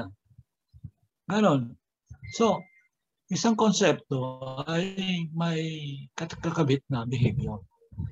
And all behavior is psychological. Mm. Di ba? Kung mali ang pagkagawa mo, mayroong deviant ka. Ano, whatever. Right. Ah, so, importante ang psychology sa kasaysayan kasi mas makikitan mo ang mong behavior. Ang ang dahilan kung bakit ang isang tao ay gumawa ng particular na bagay na ganito. Mm. Balik tayo kay Bonifacio. Mm. Sa palagay mo, paano niya na isipin, naisipan yung konsepto ng inang bayan? Wala siyang ina eh. Ma, bata pa siyang nawala ng ina eh. Siya lang ang responsable. No? Mm. At ah, paano niya na, naisipan yung konsepto ng kapatid Mm. sa katipunan? May Marami siyang kapatid. Wala siyang kapatid. Pero ang kapatid na ang na ang mga Pilipino ay may iisang bayan, Tama. iisang an- inang bayan. No? Mm. Na tayo ay anak ni inang bayan. Kaya ang tawag sa kanila ay anak ng bayan. Ng bayan. Oh. so, simpleng halimbawa lang ng pag ah, pag ah, unawa sa kasaysayan sa pamamagitan ng psikolohiya. Mm. Mm. Mm. Mm. na Dengoy na nalilang ni Duterte ang taong bayan. Ang palagay niyo.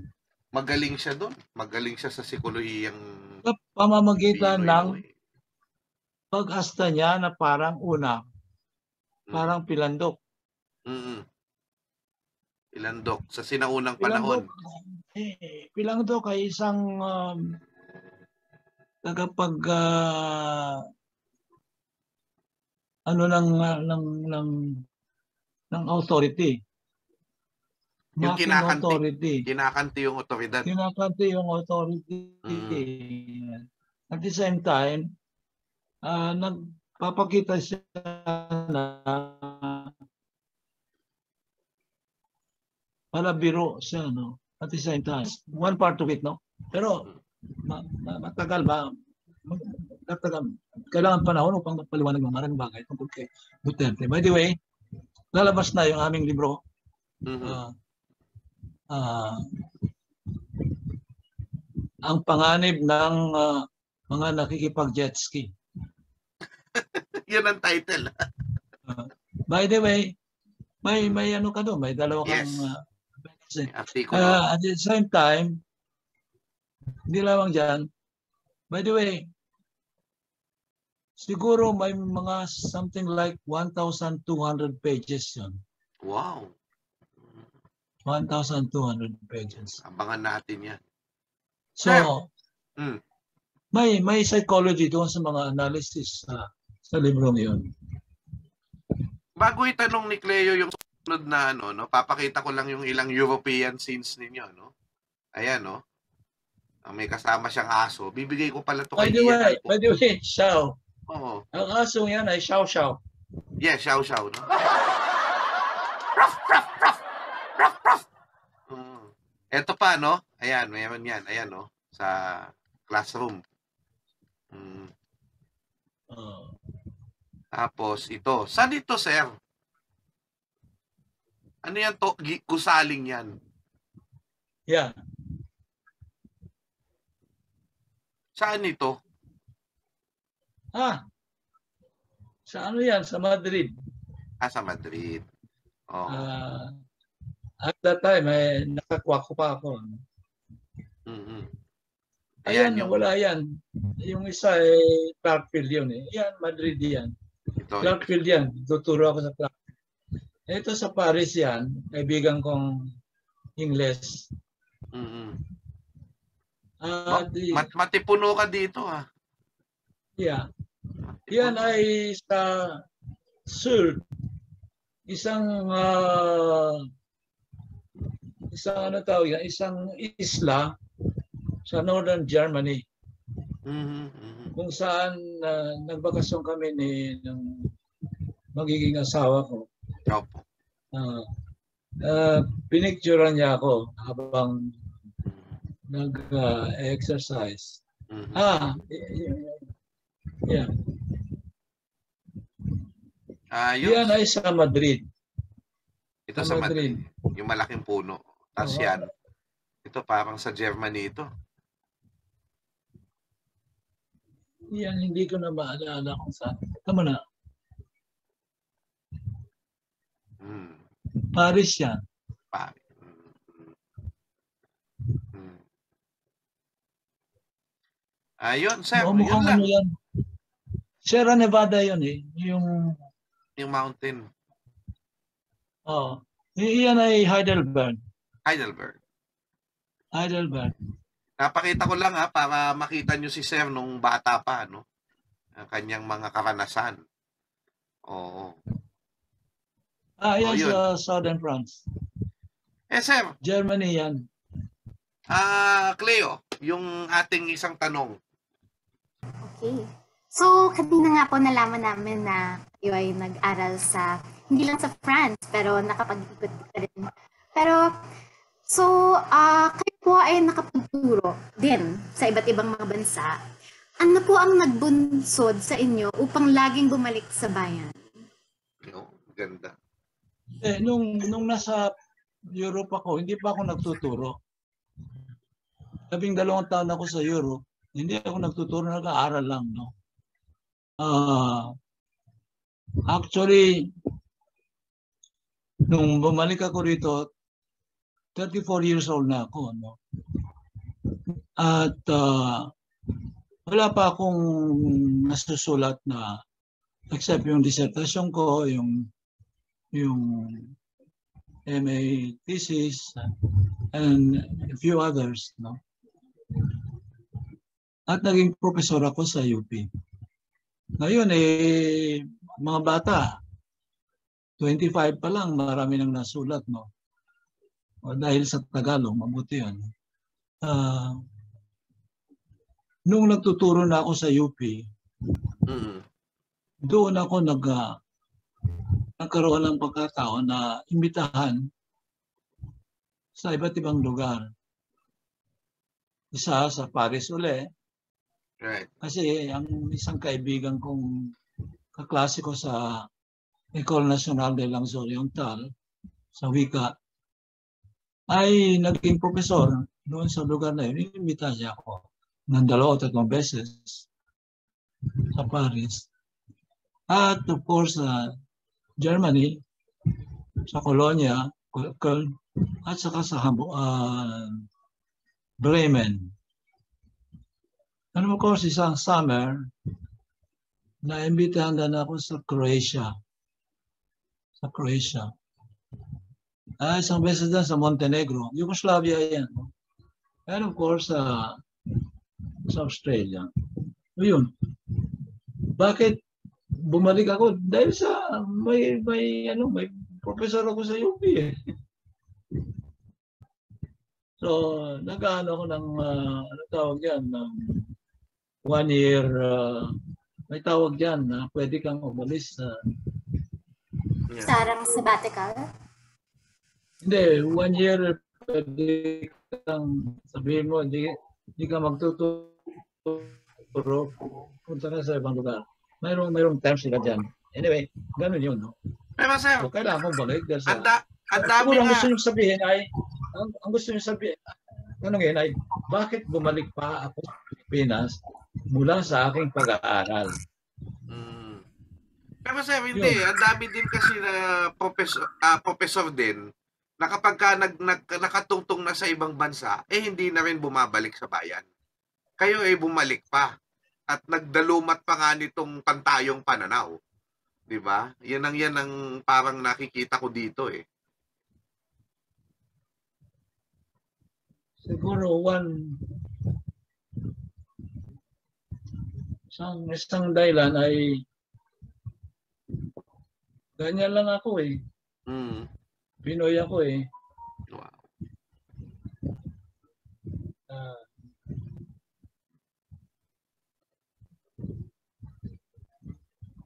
Saka isa pa siguro, no, technical. Mm. Nung umalis ako ng bansa, ay may nag-guarantee dito sa akin Mm, tama. Mm. na ah, si Relly Stanislao, kilala niyo si Relly Stanislao? Hindi. Aurelio Stanislao, the great Ah. singer, Ah. baritone, na naging kumpadre ko. Aha, aha.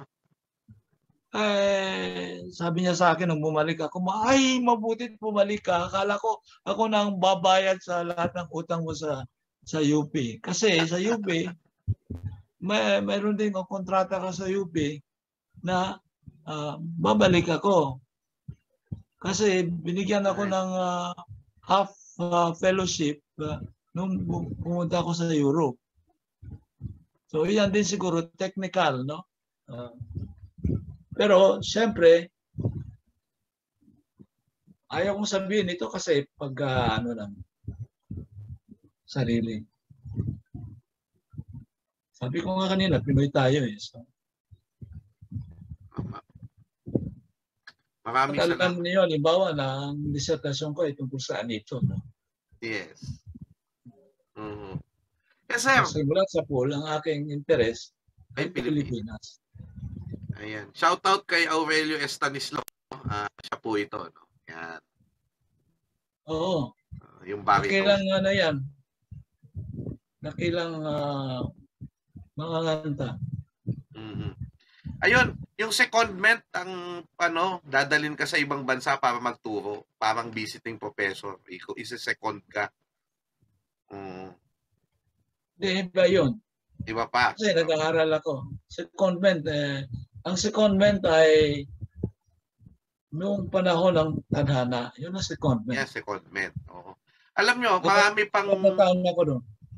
marami pang mga bagay tungkol kay Sir, no? Kaso wala na tayong oras. Pero may gusto akong dalawang konsepto na mai-discuss, no? Una ay kasi pwedeng basahin nyo yung pantayong pananaw. In fact, mabibili nyo to sa bagong kasaysayan Facebook, no? Ay, wala na yatang kopya nito. Basta ito, ma- may mga ibang ah, may mga mada-download po na articles na nanggaling dito sa Pantayong Pananaw, Ugat at Kabuluhan na mga sinulat ni Dr. Seo Salazar. Yung kasama po natin dito sa Zoom, si Ma'am Jane Rodriguez, ang isa sa mga editor, kasama ni Sir Atoy Navarro at ni Vicente Villan, ano?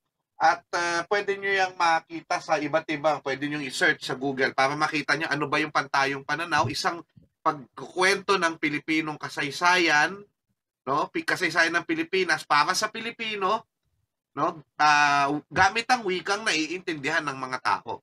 No? At gumagamit ng mga konseptong Pilipino. Pwedeng ano, ah, ibang usapan, ibang topic na natin yan. Ang gusto kong banggitin, yung konsepto ng bayan, importante sir eh. Kasi para sa inyo, ah, sa madali ang salita, of course hindi pwedeng madali ang salita, pero ah, ano ang bayan para sa isang nag-aaral ng pantayong pananaw? Para sa isang siyo Salazar, ano yung bayan? Sa simula muna siguro, uh, ang bayan ay uh, isang lugar kung saan maraming bahay. Kasi galing yan sa balayan, no? Balay, bahay, Mm-mm. balayan. Maraming bahay. Maraming bahay kasi, maraming bahay kasi nagkaroon ng okasyon na magkaroon maraming bahay kasi mayroon na silang kinocultivate na na palayan Mm, mm. na kailangan bantayan na at least once a year or twice a year ang ah, pag ah, pag-aani. Saka mayroong pagtatanim, no? So mayroong regularity. So kailangan na, saka kailangan na ng maraming tao.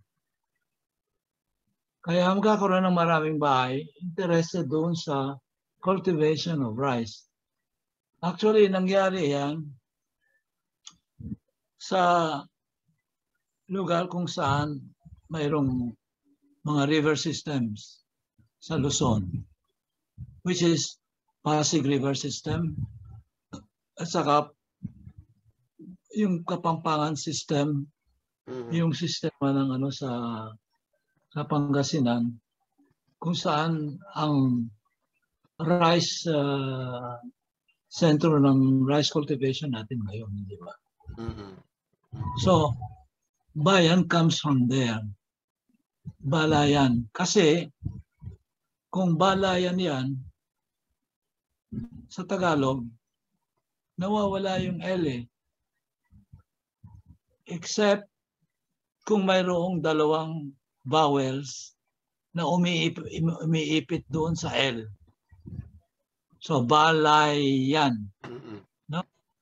Naipit yung L, nawawala yung L, so nagiging bayan.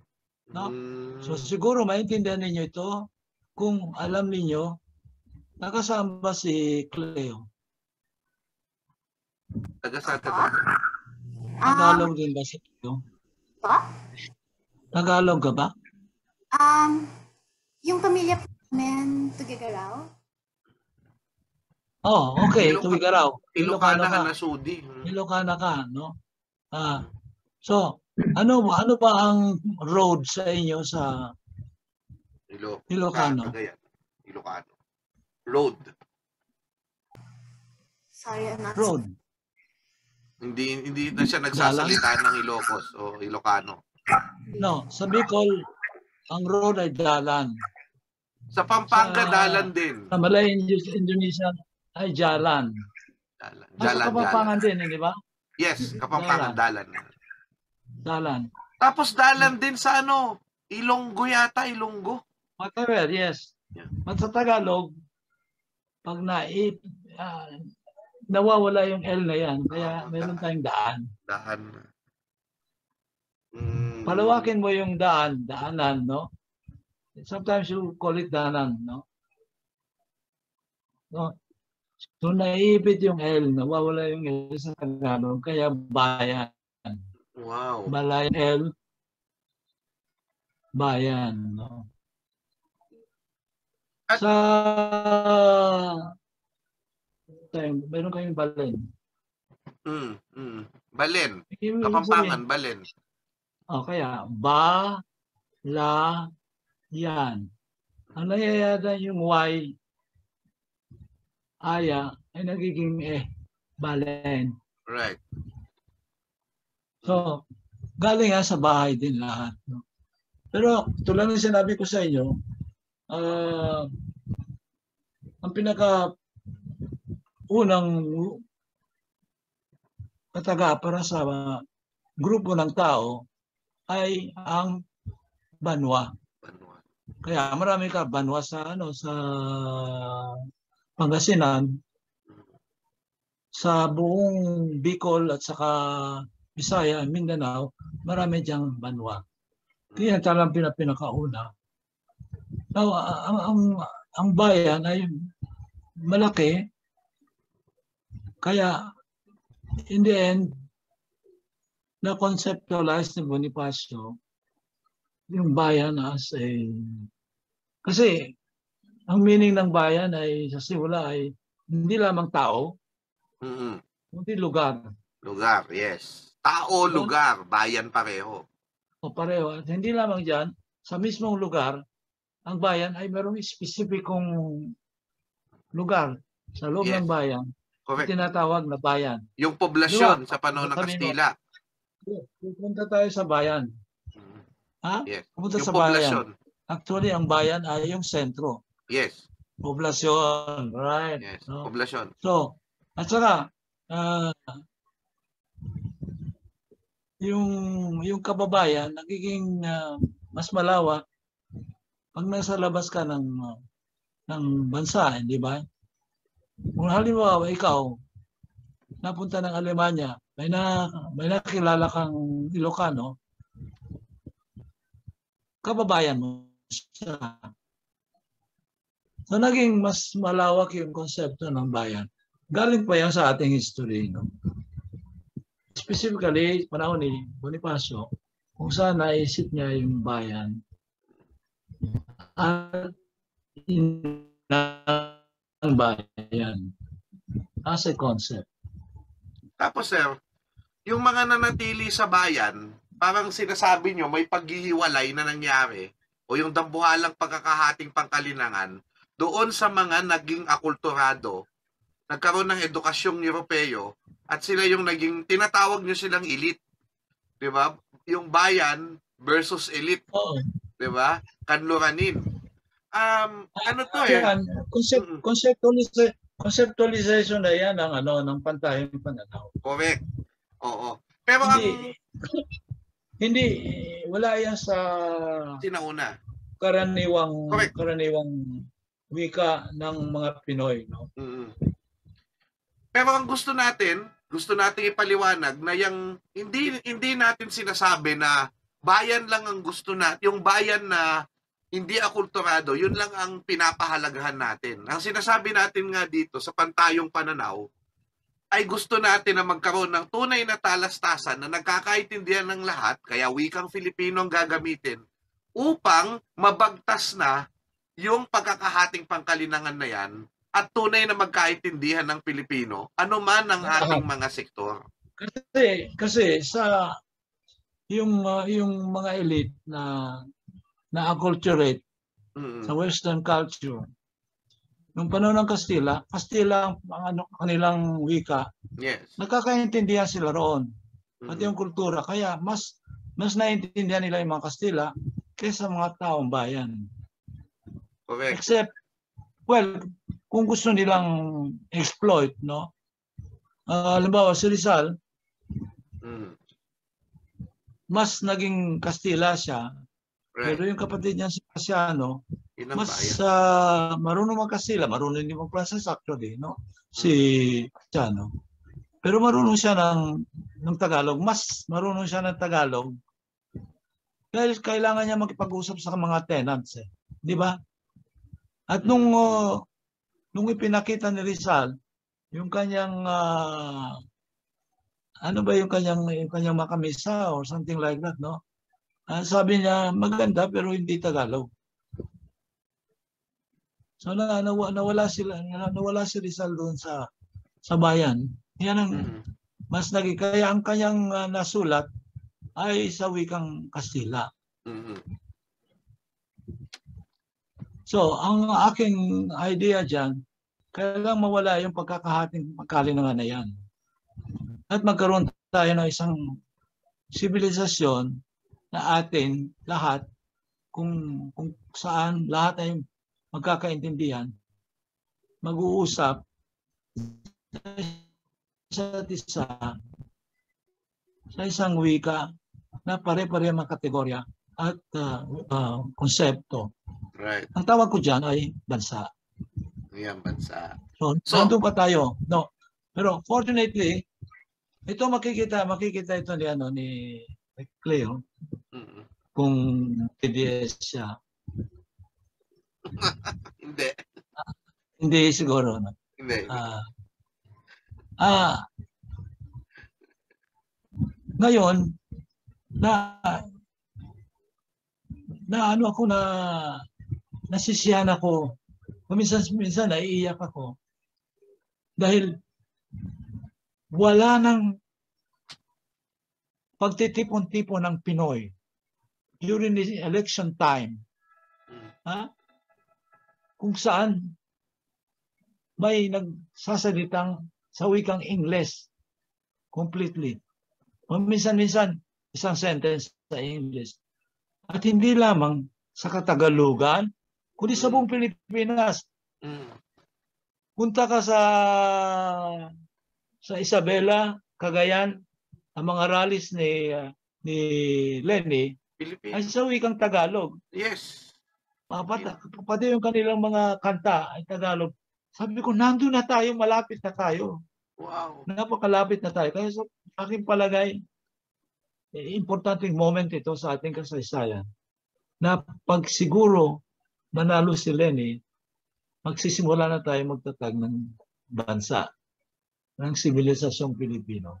Little by little, six years, tapos six years ulit, no? Buo tayo, no? Ari nawa. Ari nawa. Wala akong kinalaman ng Bibal Group. No, No? Mga na, personal ang natin ito, ah. Hindi na sila hindi na sila makapagsalita ng, ng ano ng uh, ano, Diretsong ng, ah, English. English, ano, ng local language, hindi ba? Mm. Uh, punta punta sila sa ano sa Ilo, Ilocos. They talk, they talk in, in Tagalog. Mm, Kung saan ka man pumunta. mm. Bicol, Tagalog. Bicol, Tagalog. Cebuano, Tagalog. Ganda. Ganda. Tagalog, Tama. Iloilo, Tagalog, every, Mm. everywhere. All rallies. Napakaganda ng aking uh, pagtingin diyan. Oo. minsan-minsan nakakaiyak eh. Kaya nga. Salamat, sir. Ganda. Yun kasi yung vision talaga ni sir. Na nakikita na natin. Kasi alam nyo, sir, marami na rin nag-aaral niyan dahil sinama na sa senior high school eh. Di, ito nga, may Bibal textbooks tayo na disciplines and ideas in the social sciences. Na nariyan yung ano na yan, yung yung mga konsepto ng yan. tayong pananaw. Although, nasa English pa. Tutuligsain ko ang tutuligsain ko ang Dibal Hmm, nasa Ingles. nasa English pa. Eh, pinaliliwanag ang pantayong pananaw sa Ingles. English. Balinto na. Ah, Balinto na talaga. Hindi ako magsusulat para sa Bibal tungkol dyan kung hindi nila papayagang sa wikang Filipino. Filipino. Sa wikang Pero Ang- yan eh. yan talaga. Yan talaga ang tindig nyo, sir. Eh. Na. Mm. Sino ba ang ah, head ng uh, Bibal? Sasabihin ko sa kanya, Balintuna. O ayan, na- alam nyo, naintindihan nyo naman si Sir kung bakit ha. Very, Na- very na- passionate siya na tungkol sa wikang Filipino. Paliliwanag ang pantayong pananaw, Mm, ah, ang tawag dyan, yung Pilipinolohiya, mm. at saka sikuluyang Pilipino. Walang hiya, no? Ah, lahat ng yung tatlong tatlong direksyon na yan Mm. ay naisagawa dahil sa Pilipino, sa Pilipino. Tagalog. Gamit ang Pilipino. Ayan. Pagkakaroon na rin siguro yan. Ah, tingnan natin, ka, Hmm. tingnan natin. Parang parang nagpapatuloy ang pa- ang pagkaka dambuhalang pagkakahating pangkalinangan natin na-encourage ng Bibal. Diyan. Ayaw ko yan. Sorry. At uh, syempre, it, it will all also come, ah, it, yan na, nag-English na ako. Ano? Eh, ida- pupunta pa rin tayo doon sa ano ba yung wika na hanggang ngayon ay piniprescribe ng Estado 'di ba sa pag-aaral ng mga bagay na ito. Yun yun na. Kaya yung Bibal susunod lang naman 'yan. 'Di ba? Pero yun pa rin ang kailangang maipakita natin, 'di ba? Yung yung sistema. Marami pang dapat gawin sa totoo lang, pero makita nyo, mga tao na mismo yung nangunguna sa paggamit ng wikang Pilipino sa pagdiskurso sa bansa. Okay, 9-10 na. Ah, 10 minutes. Uutang tayo ng 10 minutes kay Improbable, improbable itong sa- isa. Improbable ang ah, ang sasabihin ko. Mm. Pag naging ah, Secretary of Education ako, magkakaroon ng revolusyon. Nawala tayo. Tama, tama. revolusyon. Kailangan ng revolusyon na upang ah, ang wika ay may Hindi pa, may siguro, sulong pang lalo. sasabihin ko lang na mag-iiba ang policy Mm. ng ah, education. Kailangan lang ang Secretary of Education dyan eh. Mm. At saka, isang presidente na bukas sa wikang Pilipino. Tama. Mm, tama, tama. Ayun. Ah, Cleo, mag ah, bago natin pagbasahin si Cleo ng mga pagba, pagbati at pag ah, pag ano, may gustong bumati sa atin. Actually, nanyayaan ko siyang magsalita ng maikli. Ah, ah, tinatawagan ko po ang aking advisor, ang ah, tagapangulo ng Departamento ng Antropolohiya ng Universidad ng Pilipinas Diliman, wala pong iba kundi si Dr. Carlos Tatel Jr. Makasaysayang gabi, Dr. Tatel. Makasaysayang gabi po. Mga Mga kapoklor! magandang gabi po sa iyo, Xiao, kay Miss Cleo, kay Miss Carmen, Miss Sandra, at siyempre kay Dr. Zeus Salazar. Maganda ka rin. Kahit po hindi niyo ako nakikita ngayon. At ah, pinapaabot din po ni Dr. Mary Jane Rodriguez ang ah, pagbati ng magandang gabi. Okay. Ang gusto ko pong mensahe ay ah, ay taus-pusong pasasalamat sa mga pamana sa atin ni Dr. Salazar. Kasi wala na tayo, Prof. siya, wala na tayo pinag-uusapang disiplina dito. Wala nang history, antro, psychology, wala nang ganun-ganon. Mm. Parang lumalabas, pamana ng kaalaman na eh. Nilusaw, nilusaw nila kasi ginawa nilang multidisiplinaryo yung ano, yung pag-aaral ng agham panlipunan. Oh. Hindi, sabihin, kay Dr. Salazar, wala nang border ang pamana ni Sir. Oo, Tumag- tama. tumagos na sa lahat. Pero bilang ah, bilang ano din, ah, kinakatawan ko ang departamento ng antropolohiya, sasabi ko na naaalala at ah, kinikilala ng departamento ang ambag ng isang Dr. Salazar sa antropologiyang Pilipino. Kasama syempre si Dr. Kabat. At ah, papasalamat kami na magpapatuloy ang ah, you know, ano ng ng antropolohiya sa Pilipinas dahil sa magigiting ng mga lolo natin na antropologista. Thank you, sir. At ah, masaya ako nakikinig sa inyong talakayan. Mabuhay, Dr. Tatel. Maraming salamat po. In two weeks time, dapat matapos ko ang draft ng aking disertasyon para sa kay Dr. Tatel. Maraming salamat. Ayan ha. Kailangan pilitin ko ang sarili kong gawin yan. Oo. Sige. Um, sige, Cleo. Ah, mag, ah, mga maikling tanong, maikling sagot. Sige po. So, ang unang tanong ay galing kay Kaletflix. Ano po ang maaari pa nating gawin para mahimok ang ilang mga kabataan na mas matuto at mapalawig ang kasanayang pangwika sa Filipino sa panahon ngayon na kung saan nahuhumaling sila sa iba't ibang wika? Ah, una sa lahat, hindi totoo yun na nahumaling sila sa iba't ibang wika. Ah, Siyempre, napipilitan sila mag-Ingles, pero mali-mali naman. No? Totoo Sabi yun. yung tinutukoy dito yung K-pop, yung K-pop phenomenon, di ba? Oh mama, oh mama, mama, di ba? Wala, wala, TikTok. Yung TikTok. TikTok, TikTok din. oo. K-pop Oo, yung Korean, yung Korean. Mga Korean telenovela po. Saka yung Ah, mga mahirap, BTS. ang mahirap sa Korean telenovela ay Koreano talaga yon. Ang original noon ay, ay Koreano. Hindi sila nag english isinasalin at uh, nahuhumaling ka ron. Pero hindi ka naman natututo ng English eh. Natunay na English, no? Ah, maraming Pilipino na English pero kukunti lamang ang marunong talaga ng English.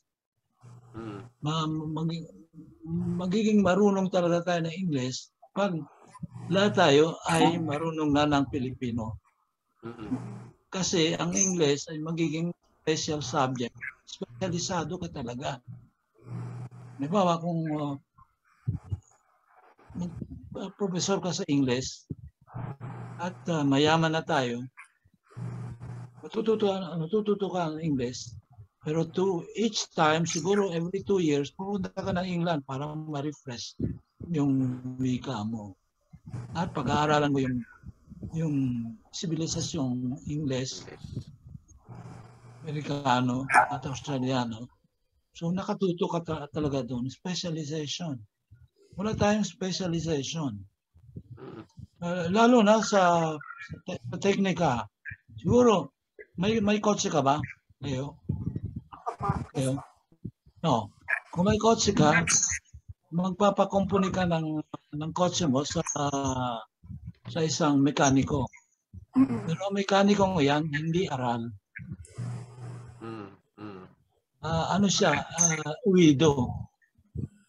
Wala, walang, wala, wala tayong sistema ng tinatawag na artisanal, artisan. No?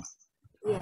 Sa Alemanya, halimbawa, hindi ka pwedeng maging mekaniko kung wala kang what they call brief. Ay, Ibig sabihin, parang diploma na nag-aral ka na, sa pagiging mekaniko. Mm. At pagkatapos mag-aral dyan, ay nag-apprentice ka sa isang mekaniko na mayroon na rin ng ganong ano, ah, diploma. Mag-aaral, mag, magiging mekaniko, da, mekaniko ka doon for about 2-3 years. Tapos, pwede ka na magtatag ng sarili mong shop. Ano?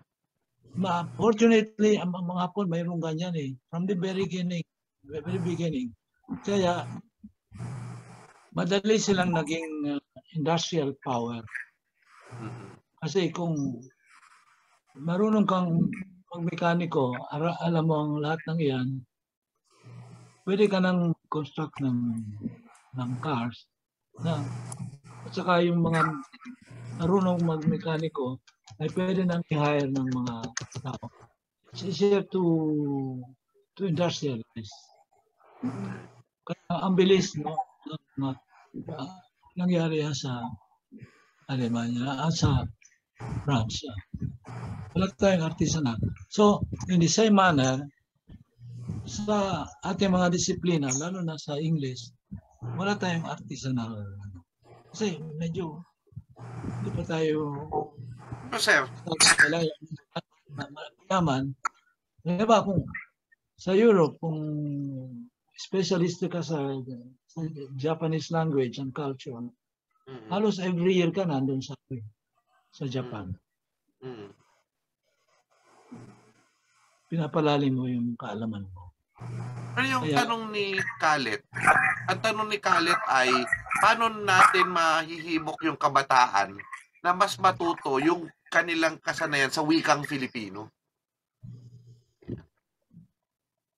Sa palagay ko, nangyayari na yun kahit hindi mo Kahit hindi, ano, himukin. okay. Kasi, ah, halos lahat ng radyo natin, television, ay nandyan na. At ah, yung movie natin, may may may ilang beses na nagsimula yung mga taga ah, Bisaya na mag-establish ng kanilang sariling ah, cinema. Pero yung Tagalog ah, movies talaga ang pinaka. So, nandiyan na ang wika eh. Nandiyan na ang wika. Except, yung mga elite, akala nila ah, inferior pa ang Tagalog. Nama. Mm. Inferior pa. So, akala nila ah, ang mga nagsasalita ng Tagalog, nagsusulat sa Tagalog, ay inferior. No? Pero sa palagay ko, ganito, yung nagsusulat sa English, karamihan ay gaya-gaya putumaya lang ng nagagawa sa Inglaterra, sa ah, Canada, Yung bagay ng Canada. yung dalumat Australia. at concepts nila ay ginagaya lang din nila sa iba. Katalon lang doon, no? Mm. Sasali lang. Actually, ang Pilipino ay saling pusa sa Ingles. Mm. Tama. Saling pusa. Mm. At siyempre, tinotolerate sila. Kasi, di ba, parang ano yan eh, parang ah, natutuwa sila sa mga, hindi ba sa, sa, natutuwa sila sa mga, ah, yung pandak,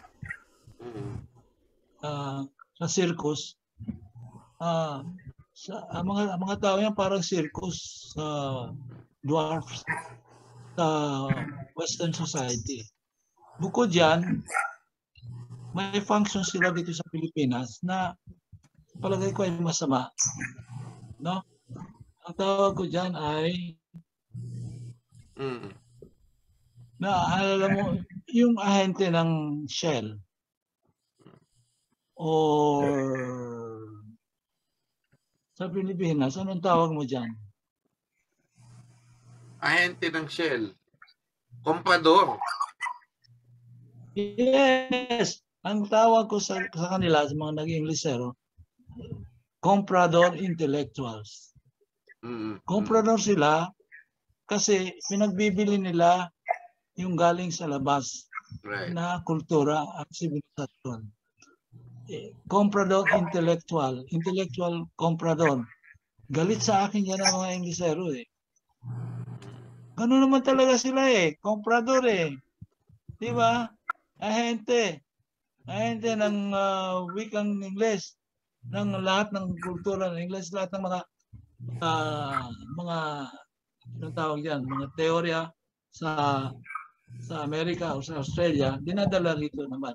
Hindi naman naiintindihan ng Pilipino eh. Walang kinalaman sa, Pili- sa majority ng mga Pilipino. So, pero, so, ano nangyayari? Nag-uusap-usap sila sa sarili nila. Mm. Ganyan ang mga komprador. Ayun. Maraming salamat ano, ah Sir Sas. Ah babatiin ko lang bago tayo magsara no. yan. It's time. Oo. Si Alvin Daga ng Giwan Eastern Samar. Ginoong Ber Ramos. Hi, Doc Sius Salazar. Miss you po. Sabi niya. Oo. Alex Arcilia. Ang dami po, no? Si Silaw. Michelle Season Silaw. ah, Raymundo Monica. Sorry, hindi ko mababasa lahat, no? Thank you, thank you, thank you. Salamat din sa mga Jericho de la Cruz, no? Thank you. Salamat din sa mga nagtanong. Yan, si Raymundo Monica. Ah, hindi ko na may patanong yung kwento mo dahil wala na tayong oras. Danica Agbayani Fabros. Bibigyan ko ng pagkakataon si ano no, si Cleo na magtanong ng kanyang gustong itanong kay Dr. Salazar bago tayo mag-closing. Sir, ah Ma'am Cleo. So, um, yun ang Salazar. So, gusto kong, actually, um, ang gusto kong malaman na bilang isang historian po, nung panahon na kayo po ay nag-aaral sa UP, ah, bilang undergraduate student, alin, ano po ang history na inaaral niyo nung panahon na yun? Kasi, just to share with you, kami, Ano, ano? ano ang history na inaaral niyo nung panahon na yun? Mm. considering na that was the height of Ah, Height of the what? Sorry. Yung the occupation. marami na na, maraming kasaysayan tungkol sa Pilipinas. Mm-mm. Pero ang nal- nalalaman lang ng mga historiador ay yung period mula 1521 hanggang sa panahong 1950s. Mm, mm. Ah, at lahat sila ay nag, ah, nagtatambakan sa 19th century. Mm-mm. Tama. 19th century, ko konting nakakaalam sa period na 16th century, Mm. 17th century, 18th century, no? Ah, hanggang ngayon, kukunti pa rin. Kung kukunti pa rin, no? At lalong-lalo na, ignorante talaga sila sa kasaysayan ng Pilipinas before 1521. Ang mga Austronesiano ay narito bandang mga 7,500 BC. Mm-mm. Ibig sabihin, ilang ilang centuries yon bago ang 1521. Walang wala, complete blackout. Kaya ang akala nila ang kasaysayan ng Pilipinas ay 1521. No, naging sibilisado tayo noong 1521. Tapos wala nang alam tungkol Mm. dyan. Sa, sa 19th century, alam mo kung ano ang concentration nila sa 19th century? Ano? kung hindi man sa revolusyon, which is good, no? Ay kay Rizal, Rizal, Rizal, Rizal, Rizal, Rizal, Rizal. Ah, kaya tuloy tinanong ko sila nung ako ay ah, estudyante, sino bang nakakaalam kung, kung kailan unang umihi si Rizal sa River Seine sa Paris? Sino ba sa inyo nakakaalam kung kailan umihi si Rizal sa river ng Paris? Mm, Pati, maraming sweetheart sa Rizal.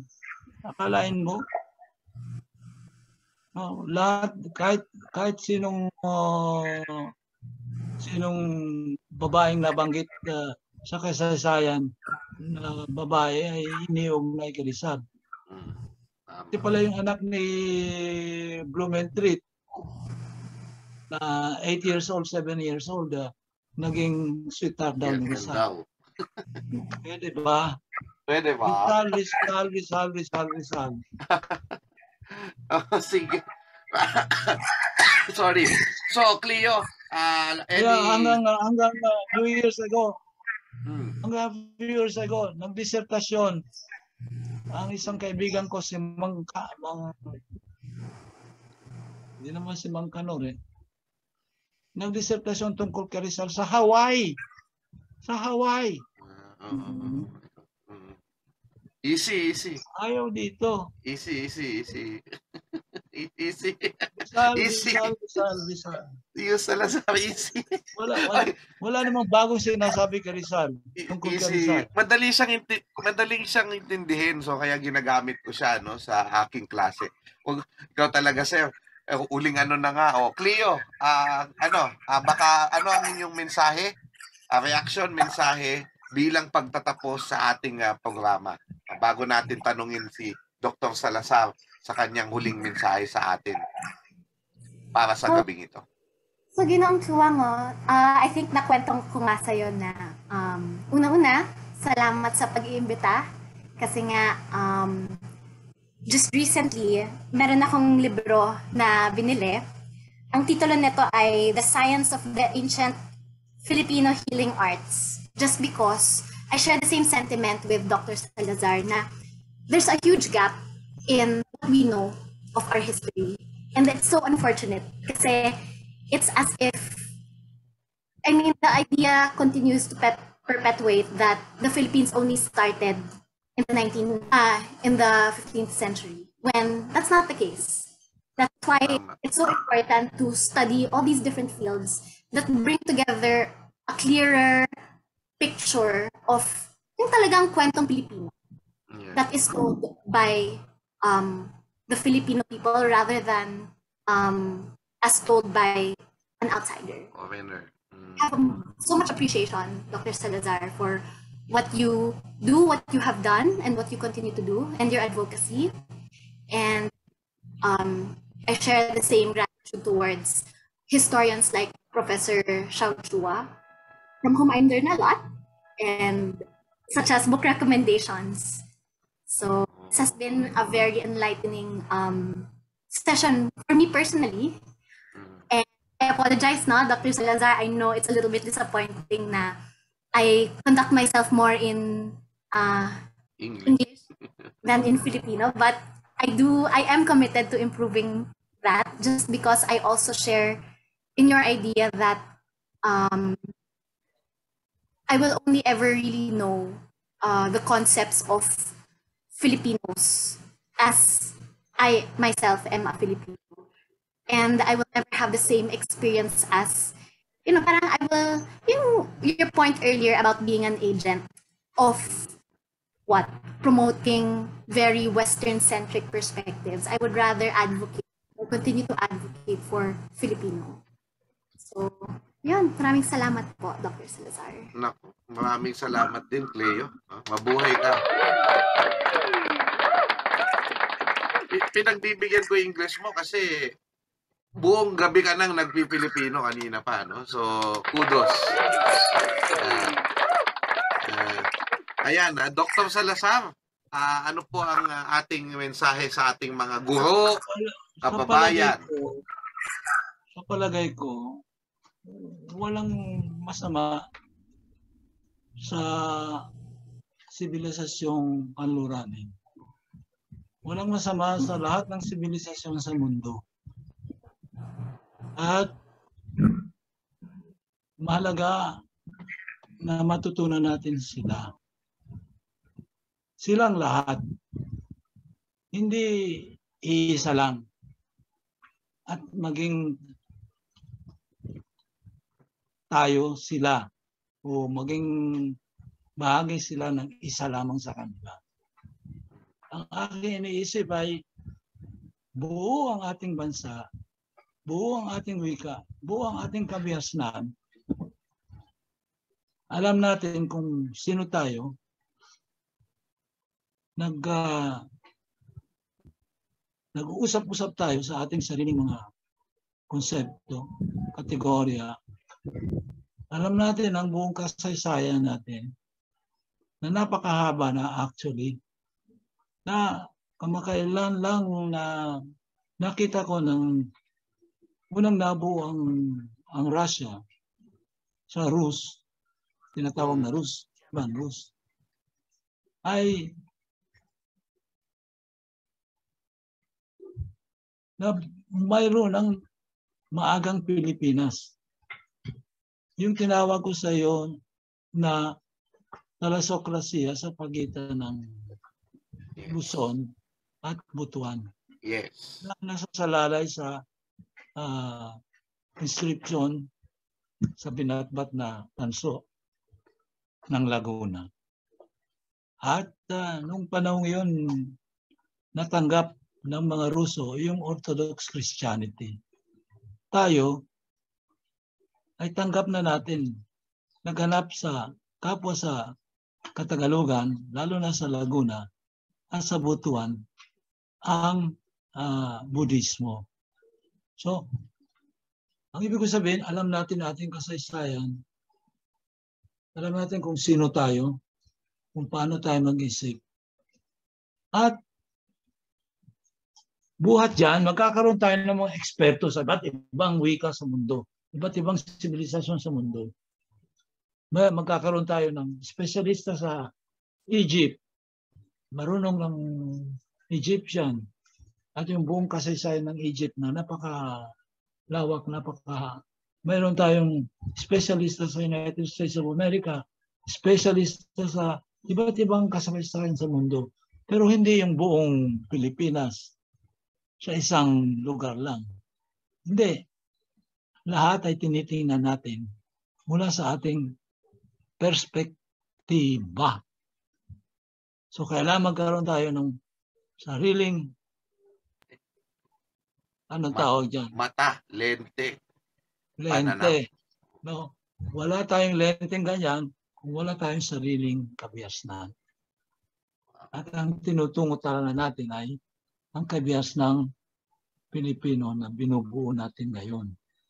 Naalala ko tuloy si, si Miguel de Unamuno sa kanyang sa kanyang introduksyon sa libro ni Retana, sa biografiya ni Retana, kay Rizal, ang sabi niya na ang destiny natin ay maging isang dakilang sibilisasyon. Yan. Miguel de Unamuno. Yan. Yan ang destiny natin. Tadhana ng Pilipinas na maging sibilisasyon, na maging kabiasnan, na maging sariling kabiasnan. Ah, ah,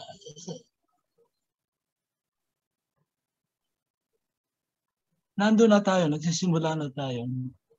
Must remember na 110 million tayo ngayon. 110 million. Nung si Napoleon at ang mga Pranses ay lumaganap sa buong Europa, wala pa silang 30, 35 million. At nang si Hitler ay gumawa ng kanyang kalokohan sa buong mundo, ay siguro mayroon lamang siyang 50 million na kaliman. Well, gamit. Gamit. Tamo, nap, napa, napa-English ako. 100 million tayo. Hindi nakatuon ang ating mga ta sa isang direksyon. Bakit hindi tayo nakatuon sa isang direksyon? Sapagkat ang wika natin ay iba-iba. Hindi ko sabi, sasabihin na patayin ang Tagalog o ang Bicol o ano pa, ng, uh, o Ilocano. Ang ibig sabihin, alam tayo uwi ka na naintindihan ng lahat. At yun na nga ang Pilipino, yun na ang Tagalog. Nakita na natin sa ating mga rallies, no? Let's start from there. Palagay ko. Pero, Marami pong salamat at, at titindig na tayo. Pag meron tayo sariling kabiasnan, titindig na tayo sa sarili nating mga paa. Marami pong salamat, Dr. Salazar. Maraming salamat. Bilang pagtat Bilang pagtatapos po, gusto kong pasalamatan si Dr. Salazar kasi nung ako po ay undergrad at ako ay nag uh, ako ay isang uh, parang ang dami kong nalaman pero hindi ko alam kung anong direksyon ko. Nung pinag-aralan ko yung pantayong pananaw, doon ko lang natutuhan kung para kanino ba yung ginagawa ko. Kasi pag nasagot mo lang yung para kanino ba yung ginagawa ko, doon lang nagkaroon ng focus na ang ginagawa ko pala ay para sa sambayan ng Pilipino. Kaya kung ako ay gagawa ng mga sanaysay, kailangan naintindihan ako ng aking audience. At yun po yung nangyari, kaya ho ako naging public historian. Dahil hindi pwedeng tayo lang mga akademiko, guro, ang magkaintindihan. Kailangan naintindihan tayo ng mga estudyante natin, ng mga tao sa palengke, no? ng mga security guard, ng mga aling bebang, dahil yun po ang pangarap ng pantayong pananaw. 'Di ba na tayo ay nagkakaintindihan sa sarili nating wika, naiintindihan natin ang ating nakaraan upang alam natin kung paano magdesisyon ng makatwiran. Makatwirang mga pasya sa kinabukasan. Mm. Isa pa, Shaw, mm. Mm. Tulay ka rin mula sa bayan upang maging akademiko ang ilan. Tama po. Salamat po tulay ka. Tulay ka mula sa akademiko tungo sa bayan, mm-hmm. mula sa bayan tungo sa akademya. Mm-hmm. Ang ibig sabihin, circular yan eh. Ay ikot-ikot yan ang uh, kaalaman. Salamat. Kung ikaw ang isa sa mga nagsasagawa ng ganyang pag-iikot ng kaalaman. Kaya, salamat Doc sa inspirasyon. Pero isang oh. malungkot na balita po ang narinig ko, nabasa ko habang nag-broadcast tayo. At ang malungkot na balitang ito ay dalawa po sa bookstores ngayon, ang uh, Solidaridad Bookstore at ang Popular Bookstore ay nilagyan po ng pulang marka na nire-red tag po sila. Uh, na ito po ay nalulungkot ako at natatakot sapagkat hindi ba't ito rin ginawa sa Alemanya no na sinunog ang mga aklat at uh, nilagyan ng mga pulang uh, ng mga pintura ang mga shops, nire-red tag po sila. At tandaan po natin na sa panahon ng pagbabaluktot ng kasaysayan, kabayanihan po ang magsalita ng katotohanan ukol sa ating kasaysayan. Kabayanihan na patuloy na bigyan ng halaga at saysay ang ating kasaysayan.